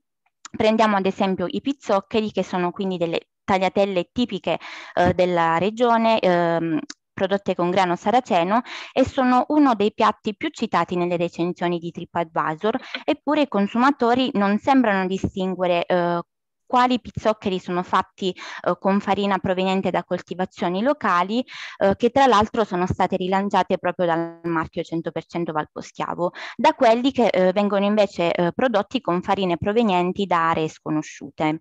Quindi se volessimo generalizzare questo risultato potremmo affermare che eh, nella percezione dei consumatori eh, le tipicità e la provenienza locale delle materie prime non sono ben distinte eh, ed è come se la, la prima implicasse necessariamente la seconda. Uh, la domanda a questo punto è quindi uh, se si tratta solamente della percezione del consumatore oppure se è un problema di comunicazione da parte di chi dovrebbe promuovere adeguatamente il marchio e quindi la località degli ingredienti. Um, fanno pensare ad una non adeguata comunicazione anche riferimenti ad alcune ricette non tradizionali, come ad esempio la pizza, che è al secondo posto dopo i pizzoccheri per numero di citazioni nelle review. Eh, in alcuni ristoranti la pizza viene proposta con farine locali e non solo, anche con mozzarella e salsa di pomodoro che sono state appositamente eh, realizzate da alcuni produttori del luogo che hanno collaborato per proporre una pizza 100% valposchiavo. Eppure questo aspetto non viene evidenziato nelle review e coincide con una non adeguata presenza del marchio sui menu della pizza. Quindi la domanda eh, rimane sempre questa, ovvero se probabilmente c'è bisogno di fare qualcosa in più in termini di comunicazione. E, ehm, vi lascio con questo quesito e lascio la parola a Ciro che viene dopo di me, che probabilmente può fornirci una soluzione. Grazie. Grazie Paolo, grazie per la parola. Volevo ringraziare anche Diego per per averci invitato. Eh, spero mi sentiate bene. Adesso condivido lo schermo. Ciro, mentre condividi lo schermo ti, ti, presento così. Allora, Ciro Borrelli è cofondatore di Quality Chain, che è una startup con sede in Svizzera, a Lugano, è fondata da tre giovani uomini italiani che sono emigrati, uso questo termine perché lo mettete sul vostro sito, così per approfondire la tecnologia blockchain e ci parlano di quale soluzione hanno sviluppato per aiutare i piccoli produttori a fare storytelling, che forse come Paola menzionava nella sua presentazione, forse è uno dei problemi per far passare al consumatore il valore di queste marche territoriali. Ciro, grazie a te la parola. Grazie Diego. Eh, mi ripresento, sono Ciro Borrelli e sono il CEO di Quality Chain. E oggi mi piacerebbe parlarvi del nostro progetto. Volevo chiedervi quante volte vi è capitato di sedervi a gustare magari un pranzo tipico del territorio, magari con un buon vino e non sapere niente di quello che state mangiando e bevendo. Di un vino solitamente vediamo il nome, la provenienza e niente di più, quando invece avrebbe un mondo da raccontare. Dalla sua storia, quella del suo territorio, dall'esperienza che questo offre, dalle persone che lo abitano e lo vivono ogni giorno. Tutto questo però non viene quasi mai comunicato al consumatore finale e quel poco che passa spesso è comunicato in un'unica lingua, rendendo di fatto l'informazione inaccessibile per tutti i turisti o i clienti stranieri. Con Quality Chain abbiamo deciso di risolvere questo problema creando un modo semplice per spiegare al consumatore cosa rende speciale il prodotto, per raccontargli la sua storia, quella della sua azienda e del suo territorio. Tutte le informazioni vengono tradotte in 36 lingue e registrate con la blockchain, una tecnologia che le rende indelebili e aumenta il grado di trasparenza della filiera. Allo stesso tempo il prodotto diventa un mezzo di fatto per portare nuovi clienti alle attività turistiche del territorio, sia tra i visitatori già in loco che tra quelli potenziali che consumano il prodotto a casa. Quality Chain infatti permette ai consorzi turistici e agli enti territoriali di allearsi con i produttori locali per promuovere al tempo stesso il prodotto e le attrazioni turistiche del territorio. I produttori potranno così raccontare la loro storia e sulla stessa pagina lo sponsor potrà andare a promuovere le attività che il territorio offre, quindi dal workshop enogastronomico, dalla degustazione in cantina, ristorazione o strutture di ricevimento. Un esempio pratico nel nostro caso è quello del Consorzio Alto Piemonte Turismo, che ha scelto Quality Chain e utilizzato 30 vini della zona per invitare i turisti a varie attività, come la degustazione in cantina, i percorsi di trekking oppure dei tour in bicicletta. In questo modo il prodotto si trasforma da un semplice oggetto a un vero e proprio ambasciatore del territorio. Quality Chain si presta anche per raccontare progetti legati all'ecosostenibilità e all'inclusione sociale, come nel caso della, della Libera, che è la prima birra gluten free prodotta utilizzando esclusivamente l'energia geotermica proveniente dal biolago di Sasso Pisano in Toscana. La birra è unica non solamente per il fatto che utilizza, è stata prodotta con energie rinnovabili, ma anche per il fatto che è, è stata prodotta da dei ragazzi in recupero al carcere di Volterra. Tutte queste informazioni sono state rese disponibili al consumatore tramite Quality Chain e tramite il nostro QR code a forma di boccale di birra. Un altro vantaggio di Quality Chain è la funzione del product discovery, tramite la quale i prodotti possono far rete e promuoversi a vicenda. Ad esempio, sulla pagina di un vino compariranno suggerimenti per salumi o formaggi dello stesso territorio. Abbiamo scelto di far così per aumentare in maniera circolare il consumo dei prodotti locali. E allo stesso modo tutti i prodotti vengono mostrati nel più grande Quality Network, che non è altro che la nostra rete di produttori indipendenti abbonati a Quality Chain. Questo permette a tutti di base di far scoprire il loro prodotto in nuovi mercati sia locali che esteri. Oltre a tutte queste informazioni, i produttori e i consorsi ottengono delle analytics molto utili sui clienti che prendono effettivamente in mano il prodotto, come ad esempio la posizione geografica, la lingua parlata, l'età o ancora quali sono le caratteristiche del prodotto che interessano di più. Questo permette in particolare ai consorzi di avere una visione d'insieme su quali sono i prodotti più gettonati di una determinata zona, chi sono gli acquirenti e in che modalità usufruiscono de- delle informazioni all'interno della pagina. Dal punto di vista dell'estetica abbiamo creato vari design originali per i QR code che si adattano al prodotto che vogliamo raccontare e non impattano in maniera negativa sul packaging. Qui potete vedere alcuni esempi come il calice per il vino, la spiga per la pasta o il maialino per i salumi. E questo ci ha permesso di fatto di incuriosire il consumatore ottenendo delle percentuali di scansione sopra la media. Infatti dai dati raccolti nell'ultimo anno e mezzo di test abbiamo notato che diciamo, la percentuale di scansione è di circa il 31% e c'è una lunga permanenza media sulla pagina, questo dimostra come il consumatore ad oggi vuole scoprire molto di più di quello che si nasconde dietro un prodotto. Ad oggi fra i nostri partner abbiamo un consorzio oltre a 40 piccoli e medi produttori e siamo inoltre partner dell'Università di Foggia e dell'Università della Svizzera Italiana che ci ha accolti nel suo incubatore. E spero di essere stato abbastanza rapido e diciamo esaustivo. Comunque per qualsiasi cosa potete scriverci le domande o visitare il nostro sito o mandarci un'email. Eh, grazie per l'attenzione. Grazie, grazie mille a te Ciro. Eh, volevo fare una piccola parentesi.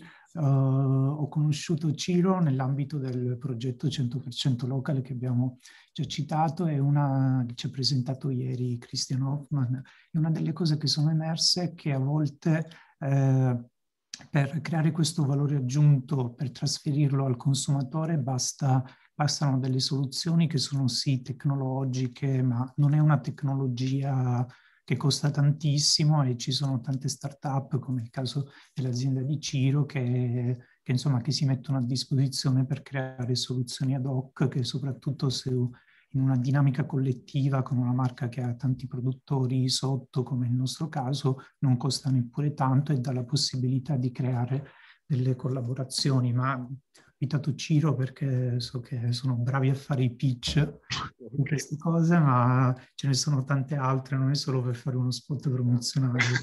No, grazie Diego. No, abbiamo, come diceva Diego, abbiamo cercato proprio di avere un target, cioè trovare un'offerta che potesse coinvolgere praticamente tutti. Non abbiamo adottato una soluzione così complessa a livello tecnologico, abbiamo dato la possibilità a tutti di utilizzare Quality Chain.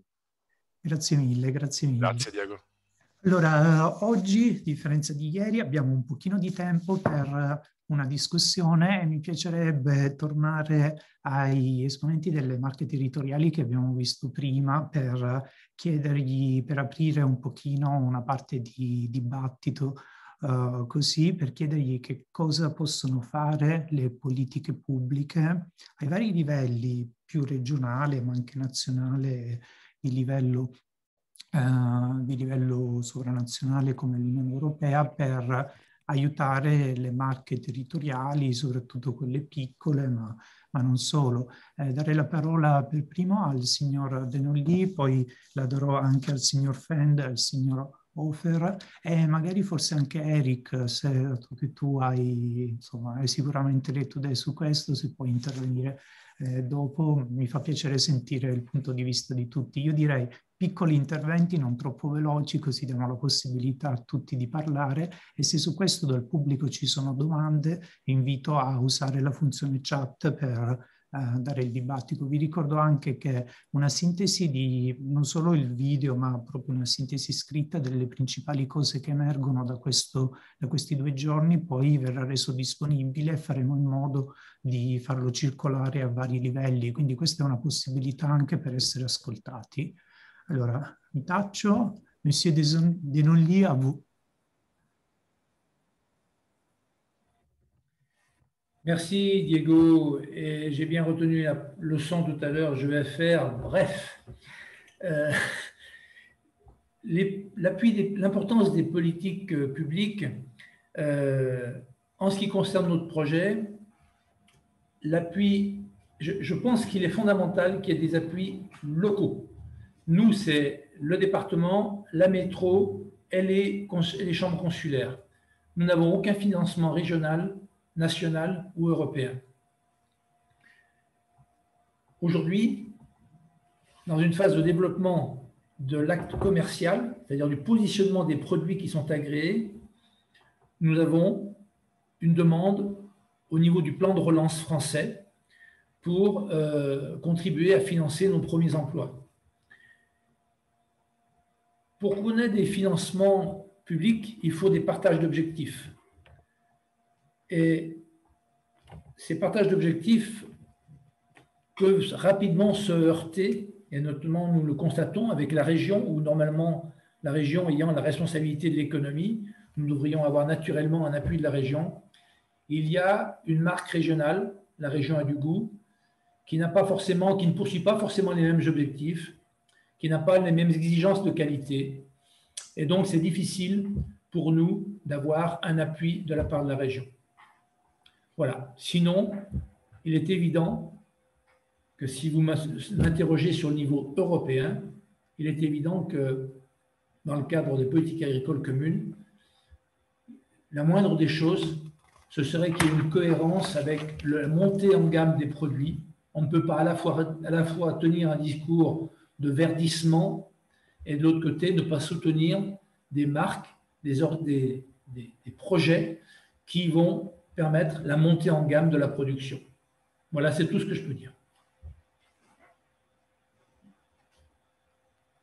Eh, merci beaucoup, Monsieur Denolli. C'est sharp, c'est très bien. Merci. E je voulais, eh, voglio passare la parola al signor Michael Fend eh, per dirci il suo punto di vista da questo punto di vista. La Francia è organizzata in maniera molto diversa rispetto all'Austria da questo punto di vista, quindi ci fa piacere il suo punto di vista. Ja, sehr gerne. Ich würde Herrn Denoyer weitestgehend recht geben, dass, dass das nicht sein kann, dass die Marke eine Regionsmarke von der regionalen Entwicklung unabhängig gesehen wird. Das kann ja gar nicht funktionieren. Äh, ich würde sogar so weit gehen, dass es eigentlich um die Entwicklung der Region geht und die Lebensqualität der Menschen in der Region. Ich glaube, das ist das, was letztlich zählt als wahres Ziel. Und die Marke kann immer nur ein Vehikel sein, ein Instrument, das uns unterstützt, äh, dorthin zu bringen. Das heißt, die wichtigen Botschaften, die wir für die Lebensqualität in der Region, für die Wertschöpfung in der Region brauchen, um diese Botschaften zu transportieren. Ich glaube, das sollten wir immer im Bewusstsein halten. Es geht in Wahrheit um die Entwicklung in der Region. Ich glaube auch, dass die Regionalentwicklung, also dass die die Marke, zumindest so wie wir sie leben, wesentlich über die Produkte an sich hinausgeht, sondern auch eine aktivierende Marke für Bürgerinnen und Bürger ist, äh, für die Region sich einzusetzen, die eigene Region anders zu sehen, die Region in Wert zu, set zu setzen und sie auch aktiviert, selbst äh, mit, mitzugestalten, selbst in ihrem eigenen Bereich Dinge zu tun, die zu einer positiven Entwicklung der Region beitragen. Es muss ja nicht alles über Förderungen oder über zentrale äh, Organisationen administriert werden. Und für diese und wenn wir es so schaffen, dass wir viele Maßnahmen in der Region haben, die in die richtige, richtige Richtung gehen, dann ist die Marke nur ein Vehikel, um das Gemeinsame sichtbar zu machen, um zu zeigen, dass da mehr ist als nur diese kleinen Einzeldinge, die so für sich, glaube ich, keinen, keine Sichtbarkeit erhalten. Und daher wäre aus meiner Sicht das ganz, ganz zentrale, zentrale Anliegen an die Politik, an übergeordnete Politik, diese Form der eigenständigen regionalen Entwicklung, wo die Entscheidung darüber, was eine Region braucht, in der Region bleibt auch weiterhin, äh, so wie im LEADER-Programm, glaube ich, sehr gut umgesetzt, weiterhin gestärkt wird, weiterhin forciert wird, vielleicht auch ausgebaut wird. Ich glaube, das ist schon ein sehr, sehr gutes Modell. Wir haben übrigens im Vulkanland, sind wir eine der ersten LEADER-Regionen Österreichs, 1995 nach dem EU-Beitritt. Zu Beginn waren wir im Finchgau, Herr Hofer, um uns das anzusehen, weil sie ja schon in der ersten Leaderperiode dabei waren, waren ganz begeistert und das war für uns mit ein Anstoß, in diesem Programm teilzunehmen und diese eigenständigen Möglichkeiten der Region anzusehen, in Wert zu setzen und daraus zu schöpfen. Und die Marke kann, glaube ich, dann nur ein Vehikel sein, das weiterzutragen.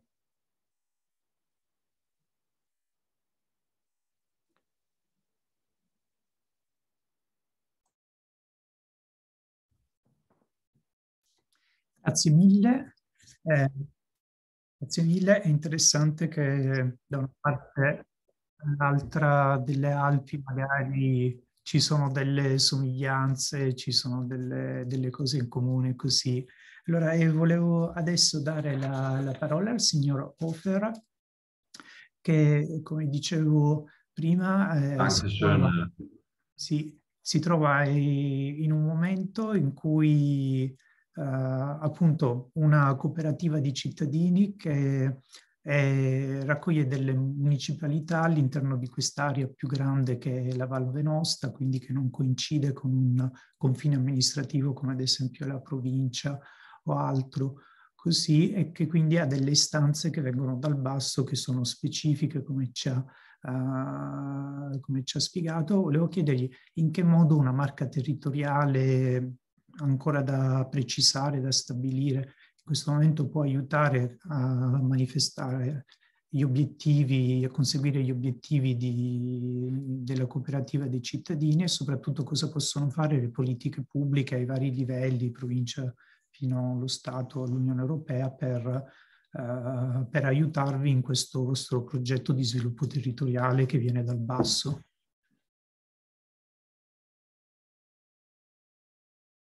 Dankeschön, Herr Rinaldo, für die Erklärung. Ähm, ich finde es schon wichtig, ich kann mich auch ein bisschen meinen Vorrednern äh, anschließen. Ähm, es ist wichtig, dass es äh, Projekte wie LIDA ähm, und öffentliche Beiträge gibt, äh, welche die regionale Entwicklung fördern. Ich finde es aber trotzdem noch viel wichtiger, dass ähm, dass die Politik ähm, Kosten internalisieren äh, vorschreibt, also dass Umweltzerstörung, Ausbringung von Schadstoffen, äh, sei es jetzt äh, von der Automobilindustrie oder auch äh, von Pestiziden, ähm, dass das in Produkten eingepreist wird. Denn nur so sind wir langfristig konkurrenzfähig als biologische Produzenten oder als äh, aus nachhaltiger Sicht. Das wünsche ich mir von einer EU-Politik, dass das äh, durchgesetzt wird. Natürlich ist das alles andere als einfach. Ähm, aber ich, wir haben das ja oft schon gehört, also heute, also durch bürokratische Prozesse, Beiträge, Förderungen, kurzfristige äh, Verfügbarkeit von Geldmitteln für Marken, ähm, kann man kann man eine regionale Marke initiieren, aber ähm, konkurrenzfähig und überlebensfähig bleibt man nur, wenn man Produkte verkauft, wenn man Arbeitsplätze schafft und wenn man die Region am Leben erhält. Also äh, dass keine Abwanderung, dass Zuwanderung äh, in der Region wieder auftritt. Und äh, dafür ähm, muss man in einer kapitalistischen Welt Geld verdienen und äh, man kann nicht Geld verdienen, wenn man zu teuer ist. Also äh, für den Konsumenten, sei es für die Gastronomie oder für, ähm, für den Privaten. Also das wünsche ich mir. Und sonst natürlich sind regionale Marken sehr wichtig. Ähm, auch für uns, um, um eine Identität zu stiften, um zu sehen, ähm, um glaubwürdig zu sein, ähm, was ist das Produkt, äh, was kann es mir bieten. Ähm, gleichzeitig sind regionale Marken sehr ähm, arbeitsintensiv, sehr kostenintensiv.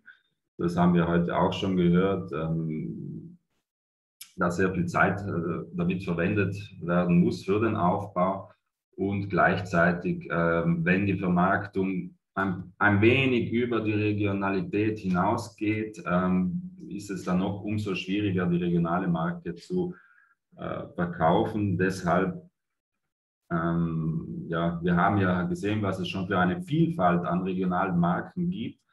Ähm, deshalb wünschte ich mir schon ein bisschen auch ein, ein, ein EU-weites Label für ähm, nachhaltige, regionale, biologische Produkte und, und, und so, so, irgendwas, dass der Konsument ein Vertrauen aufbauen kann, genauso wie er dann sehen kann, welche Produkte ähm, Umweltprozesse äh, oder Umwelt zerstören.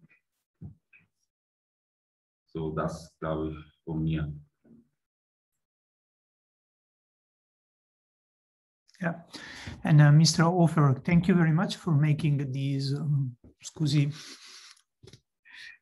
uh, ogni tanto cambio le lingue, così, grazie mille per aver fatto questi punti molto molto importanti.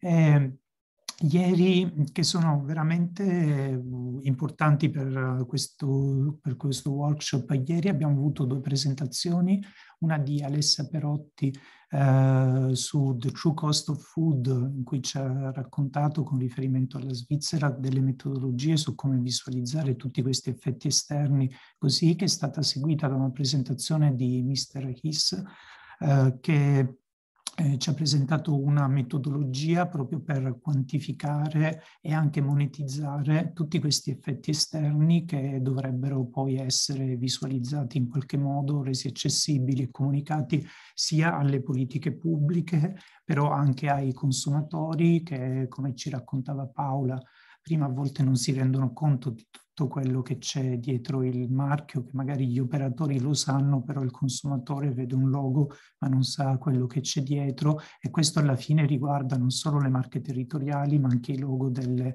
indicazioni geografiche o i logo delle denominazioni di origine protetta che consumatori sanno qualcosa ma non veramente tutto quello che c'è dietro. Ed ecco perché magari soluzioni eh, come quelle dell'azienda di Ciro che non solo raccontano l'origine, ma possono con il QR code, con queste etichette narranti, eccetera, rimandare anche a tutto il sistema di valori, di impatto positivo sull'ambiente, di, sulla biodiversità, su CO2 e via dicendo, sono veramente delle cose che possono essere messe in, in moto facilmente. Quindi grazie mille per aver fatto questi, messo la luce su questi aspetti che veramente ci riportano anche i contenuti di ieri.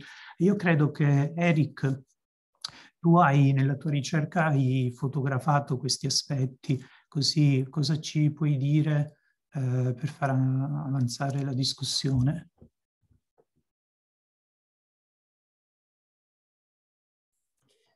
Um, hvala. Uh, mislim, da je izjemno pomembno in to je že tukaj pri tej delavnici izvrstno izhodišče, da bi se morali te lokalne znamke iz vsega območja Alp med sabo povezovati. Uh, zlasti povezovati glede izkušenj, povezovati s pomočjo raziskovalnega sektorja, univerz in izmenjati svoje izkušnje z upravljanjem. Uh, mislim, da je ta povezovalni trikotnik, uh, raziskovalni sektor, ponudnik in pa upravniki teritorijalnih znank izjemno pomembna zadeva, ki bi jo lahko zlahka nadgradili. Uh, namreč jaz sem ugotovil tudi v tem projektu, 100-odstotno lokalno, ki je bil včeraj predstavljen, da pravzaprav težave in izzivi, ki se soočajo, torej s katerimi se upravniki, menedžeri znank soočajo na terenu, so vse povsod zelo podobni in da jih pravzaprav lahko naslovimo samo s tem, da izmenjamo izkušnje in pripravimo neke širše ugotovitve in s temi strategijami skušamo nasloviti inštitucije tako na ravni držav, kot tudi na evropski ravni. In samo na tak način bomo lahko te mehanizme, te pristope na lokalni ravni ukrepili tako, da bodo delovali bolj usklajeno tudi na širših regionalnih ali pa če hočete tudi na globalni ravni.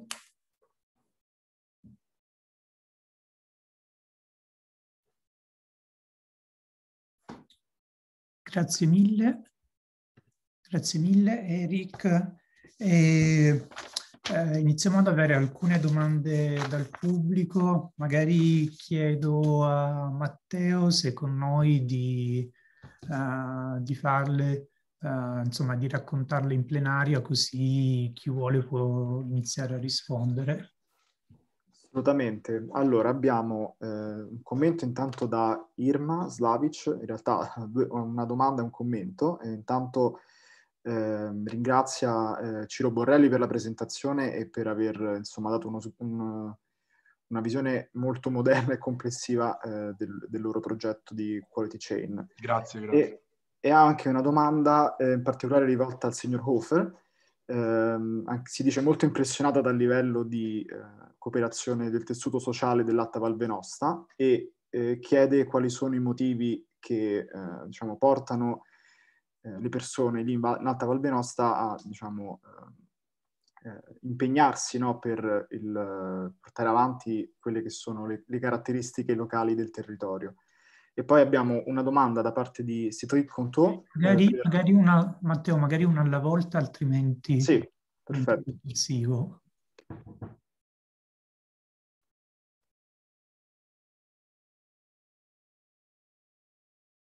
Era una domanda per il signor Hofer, giusto? Esatto. Okay, danke schön. Also ähm, warum wir ähm, so engagiert sind, beziehungsweise ähm, unsere Bevölkerung in der Region, ist eine gute Frage, die oft auch gestellt wird. Ich glaube, das hat viel damit zu tun, dass auch durch diese dieses Pestizidreferendum ähm, durch die Möglichkeit ähm, der Bevölkerung ähm, in einem politischen Prozess äh, Einfluss zu nehmen durch eine, eine, eine Wahlmöglichkeit, also ein Referendum. Ähm, und damit auch, damit sie gesehen hat, die Bevölkerung, dass es möglich ist, ähm, einen Wandel einzuleiten, ähm, wurde ähm, sehr viel Motivation äh, gestreut in der Bevölkerung. Ähm, und ähm, ich glaube deshalb, auch deshalb, vor allem deshalb, weil der, der, der, der Wandel in der Landwirtschaft ist, war bemerkbar immer wieder. Also Gründe wurden verkauft, Landsgrabbing ist aufgetreten. Ähm, aber das ist so ein schleichender Prozess. Man nimmt ihn wahr, aber dann doch nicht wirklich. Und durch die öffentliche Diskussion wurde ins, ähm, ins Auge gefasst. Und eben durch diesen politischen Prozess, glaube ich schon, ähm, wurde die Bevölkerung motiviert und auch die vor allem die jungen Bevölkerung und, ähm, und neue, neue Initiativen sind dann wie Pilze aus dem, aus dem Boden äh, gekommen. Und deshalb finde ich es schon wichtig, dass ähm, der Wandel oder dass die Entscheidungsmöglichkeit zumindest von der Bevölkerung ausgehen sollte, wohin wollen wir und dass äh, junge Menschen die Möglichkeit gegeben äh, werden muss, äh, sich unternehmerisch äh, ähm, Startups zu organisieren, sei es jetzt in klassischen äh, Genossenschaften oder, oder in anderen ähm, Unternehmensformen. Und, ähm, und dann ist eben wichtig, dass ein Spirit entsteht, der ähm, das Gemeinsame, das Kooperative fördert. Und ähm, dann werden wir viele Graswurzelbewegungen von, von Bottom-up ähm, erleben. Und genau diese brauchen wir für, für den Wandel, äh, sei es jetzt für den Klimawandel, aber auch äh, den Wandel in der Landwirtschaft und in vielen anderen Bereichen. Ich hoffe, das war eine Antwort.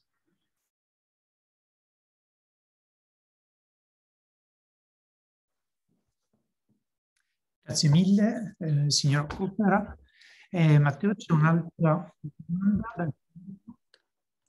Sì, c'è una domanda da parte di Cédric Conto eh, che diciamo, eh, si focalizza sul tema dell'esistenza di diversi brand con diversi obiettivi e diverse scale territoriali e chiede diciamo, a tutti eh, i relatori eh, se non dovesse esistere un target minimo comune eh, che possa essere valido un po' per tutti, riguarda, che riguarda eh, gli obiettivi ambientali soprattutto collegati al Green Deal europeo, ma anche a temi più sociali come eh, quello che riguarda la, una equa remunerazione per tutti coloro che lavorano nel, nell'ambito della, del settore eh, agricolo. Sì, eh, eh, signor Contò menziona anche la menzione facoltativa prodotto di montagna dell'Unione Europea che ieri avevamo con noi Euromontana che è stato un grande attore insomma nella creazione di questa etichetta. E io allora non so per chi era questa domanda, però dal mio punto di vista che è squisitamente di marketing e di comportamento del consumatore, sono abbastanza d'accordo sul fatto che su un prodotto quando cominciano a esserci tanti loghi è proprio una questione di psicologia cognitiva che non è il mio campo, però sono degli stu- dei miei colleghi che, eh, che hanno studiato molto queste cose. Più informazione c'è, su un prodotto o su uno spot pubblicitario, eh, meno passa. Quindi è effettivamente un problema che tanti loghi, soprattutto se non c'è un investimento di comunicazione per far capire che cosa vogliono dire, affollano il prodotto di cose che più o meno significano aspetti simili che però non permettono di far capire bene. E la cosa che volevo citare, c'è stato uno studio recentissimo dell'Unione Europea sulle indicazioni geografiche che se riesco a recuperarlo magari lo metto in chat adesso, altrimenti magari troviamo il modo di diffonderlo, che già i logo delle indicazioni geografiche tipiche e delle denominazioni di origine protetta, sebbene siano relativamente noti, ma in alcuni paesi molto più che altri, ad esempio in Italia e in Francia molto più che in altri paesi europei. Eh, la gente però quando gli chiedi che cosa vogliono dire, i consumatori non sono in grado di dirlo e addirittura le indicazioni geografiche tipiche, questo è un tecnicismo che non sono una filiera 100% locale, mentre invece le denominazioni di origine protetta lo sono, però a volte vengono considerate meglio rispetto alle denominazioni di origine protetta perché c'è questo nome geografico nel nome quindi intuitivamente le persone pensano che, che è quello che dà la maggiore garanzia. Quindi sono molto d'accordo sul fatto che troppi logo, troppi logo possono creare, ingenerare confusione e per me il, il, problema non è tanto tra logo che vogliono dire cose completamente diverse, ma quando, tra logo che, che vogliono dire cose simili, quindi un aspetto etico, un aspetto ambientale, eccetera. E dal punto di vista, il signor Raus, eh, prima della birreria giardinesa menzionava che bisogna essere pratici, che bisogna ridurre la burocrazia. Effettivamente per un produttore aderire all'agricoltura bio, a un'indicazione geografica, a una marca territoriale e a fair trade, a tante altre cose ancora, sono dei costi che si moltiplicano e bisognerebbe trovare un modo di razionalizzare. Quale sia però questo non lo so e quindi uh, apro la parola se c'è qualcuno che vuole intervenire su questo tema.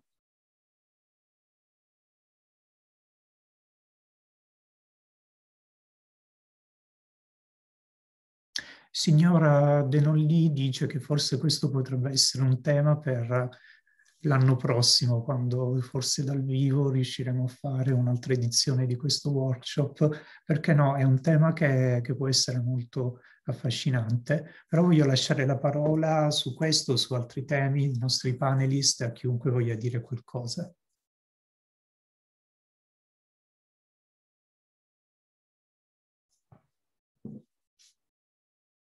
Prego, prego. Signor Fender. Ja, darf ich? Yes.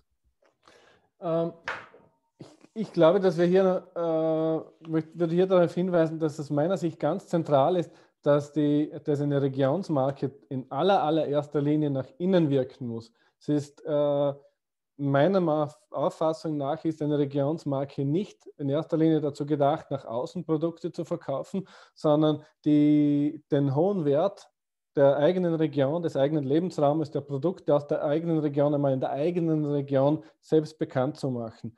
Da sind natürlich äh, Überschneidungen nicht hilfreich. Das heißt, in der Region sollte man sich schon auf eine einzelne, einzige Marke, glaube ich, äh, beschränken und diese auch festlegen. Ich würde auch dafür plädieren, diese möglichst einfach zu gestalten. Es gibt genügend andere Labels wie Bio-Nachhaltigkeit, äh, die uns diese Dinge schon, äh, also andere Quali die uns Zertifizierungen näher bringen. Das heißt, hier müssen wir nicht noch eines zusätzlich schaffen, glaube ich. Aber die Regionsmarke kann vor allem in der Region stark sein und in der Region eigene Produkte, eigene Werte vermitteln den eigenen Bürgern. Wenn sie ein wenig darüber hinaus wirkt, dann ist das ein positiver Nebeneffekt, würde ich sagen, aber ich glaube, das ist nicht das Ziel. Und das, da müssen wir auch realistisch sein. Äh, einem Produkt, also eine Regionsmarke, die weit über die Region hinaus äh, sichtbar und bekannt ist, das schaffen sehr, sehr wenige. Das, da muss man, glaube ich, viele Jahre oder Jahrzehnte auf der gleichen Marke stark sein, gut aufgestellt sein.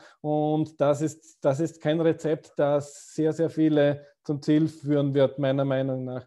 Von dem her glaube ich, die Konzentration nach innen auf die eigenen Bürger, die sind immerhin den Großteil des Jahres vor Ort, konsumieren den Großteil des Jahres hier, ist günstiger von Kosten-Nutzen her und bringt am meisten. Und wie kann ich jemand anders erklären, Produkte aus der Region sind hervorragend, wenn die eigenen Menschen in der Region sie nicht einmal kaufen?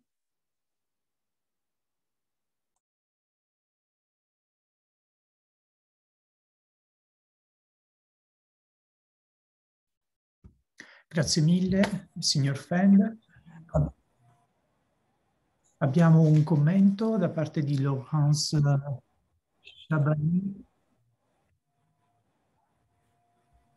del, allora, è Street Art National che è, il, la marca condivisa, di, uh, la marca condivisa uh, dei parchi francesi, così che fanno un lavoro anche eccezionale, oserei dire, ne parlavamo ieri, abbiamo fatto vari esempi così di accompagnamento dei produttori verso, uh, come dire, un aumento di, della qualità anche ambientale nelle sue varie declinazioni e loro dicono, leggo, che fanno delle passerelle, delle sfilate, mettono in mostra le marche o indicazioni geografiche esistenti nei parchi o i produttori bio. Uh, eccetera, però hanno un problema con il regolamento, con i regolamenti europei che limitano molto l'utilizzo delle menzioni territoriali. Eh, ecco, non so a, a chi è questa domanda, io se magari ci può scrivere qualche, eh, qualche precisazione sui regolamenti europei in questione, magari vediamo se qualcuno vuole rispondere. E c'è il, il signor Denolli che invece voleva prendere la parola. Prego. Monsieur Denollier, à vous la parole. Merci. Euh, je, voulais juste préciser que dans notre euh, démarche de marque territoriale, on a dès le départ contractualisé avec l'INAO, l'INAO, l'Institut national des appellations d'origine. C'est-à-dire que nous avons clairement identifié les terminologies que nous ne pouvions pas utiliser, qui sont donc réservées aux PIGP. Et donc, on a une démarche qui est complémentaire c'est-à-dire que clairement, euh, on ne vient pas empiéter sur la démarche, par exemple, des, fromages euh, qui ont été euh, labellisés en Isère. Et nous avons l'obligation, en tant que marque, d'associer dans toute la promotion que nous faisons de nos produits, nous emmenons avec nous, nous associons les AOP et IGP de notre département. Mais c'est clairement du fromage Saint-Marcelin ou du Vercors, et c'est clairement des produits de la Marchisia.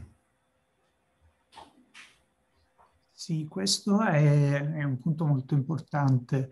Allora, un concetto che viene dal mondo del marketing che, eh, che bisognerebbe adattare si chiama uh, brand architecture in inglese, l'architettura della marca, eh, si usa questo concetto dell'architettura per cercare di capire come diverse marche possono cercare di stare insieme, come se fossero stanze diverse di una stessa casa, se mi passate la metafora, e effettivamente anche il commento di, uh, di Cédric Contot uh, va in questa direzione e devo dirvi che per quanto conosco io è un dibattito che non, non esiste ancora, che è tutto da fare, effettivamente potrebbe essere uno spunto per un incontro futuro in cui cerchiamo di focalizzare eh, questo tema qua. Allora, mi fanno sapere che sono le 11 e mezza, quindi oggi rispettiamo perfettamente gli orari. Ovviamente ci sono delle domande che non hanno avuto risposta, però forse in due ore non, non era, era, troppo ambizioso pensare di poter mettere un punto su tutto quello che c'è da sapere sulle marche territoriali. A mo' di conclusione devo dire che io personalmente sono molto contento che abbiamo potuto avere eh, proprio queste prospettive dai diversi paesi alpini che hanno arricchito, eh, hanno permesso di Uh, di creare dei ponti forse, di capire che da una parte all'altra delle Alpi siamo diversi perché l'INAO in Francia è una cosa che è molto francese, che magari in Italia non c'è nulla di simile, in altri paesi è ancora diverso, però è, è veramente ci sono delle, delle similitudini e per me è molto fruttuoso, molto produttivo mettere insieme queste diverse prospettive io ne approfitto di ringraziare tutti, oltre ai nostri padroni di casa istituzionali, quindi EUSALP, quindi la Convenzione delle Alpi, Euric Research e il Polo Poschiavo che è stato meno visibile ma comunque ha dato il suo contributo. Volevo anche ringraziare allora lo staff tecnico eh, che ci ha permesso di fare tutto, di scambiare anche se non siamo lì dal vivo, lo staff dei traduttori che hanno fatto un lavoro eccezionale dei traduttori e delle traduttrici. Volevo anche ringraziare personalmente Elisa, eh, volevo ringraziare anche il governo della Carinzia, scusate, che ha pagato, insomma, ha messo a disposizione il budget per questa, eh, per la traduzione simultanea che ci ha permesso di esprimerci ognuno nella nostra lingua madre e quindi ha permesso di dare maggiore inclusività perché altrimenti bisognava fare un evento solo in inglese che esclude molte persone. Volevo ringraziare personalmente Elisa Agosti che insomma lei è stata meno in evidenza però veramente ha lavorato tantissimo e senza di lei non avremmo potuto veramente organizzare questo evento. Eh, volevo ringraziare anche Matteo Rizzari che ci ha dato una mano enorme e spero, ancora non abbiamo grandi annunci, però spero di potervi rivedere in altri momenti, in altri luoghi, magari dal vivo, e di poter continuare a, ad avere questi scambi così interessanti e così stimolanti. Ovviamente spero che questo evento crei delle connessioni, quindi metteremo tutte le presentazioni e se volete in privato continuare a scambiare, sicuramente c'è tanto da fare. Grazie veramente a tutti e a presto. Grazie. Grazie a Diego, è stato un piacere lavorare. Arrivederci, grazie. Grazie a tutti, grazie mille a tutti.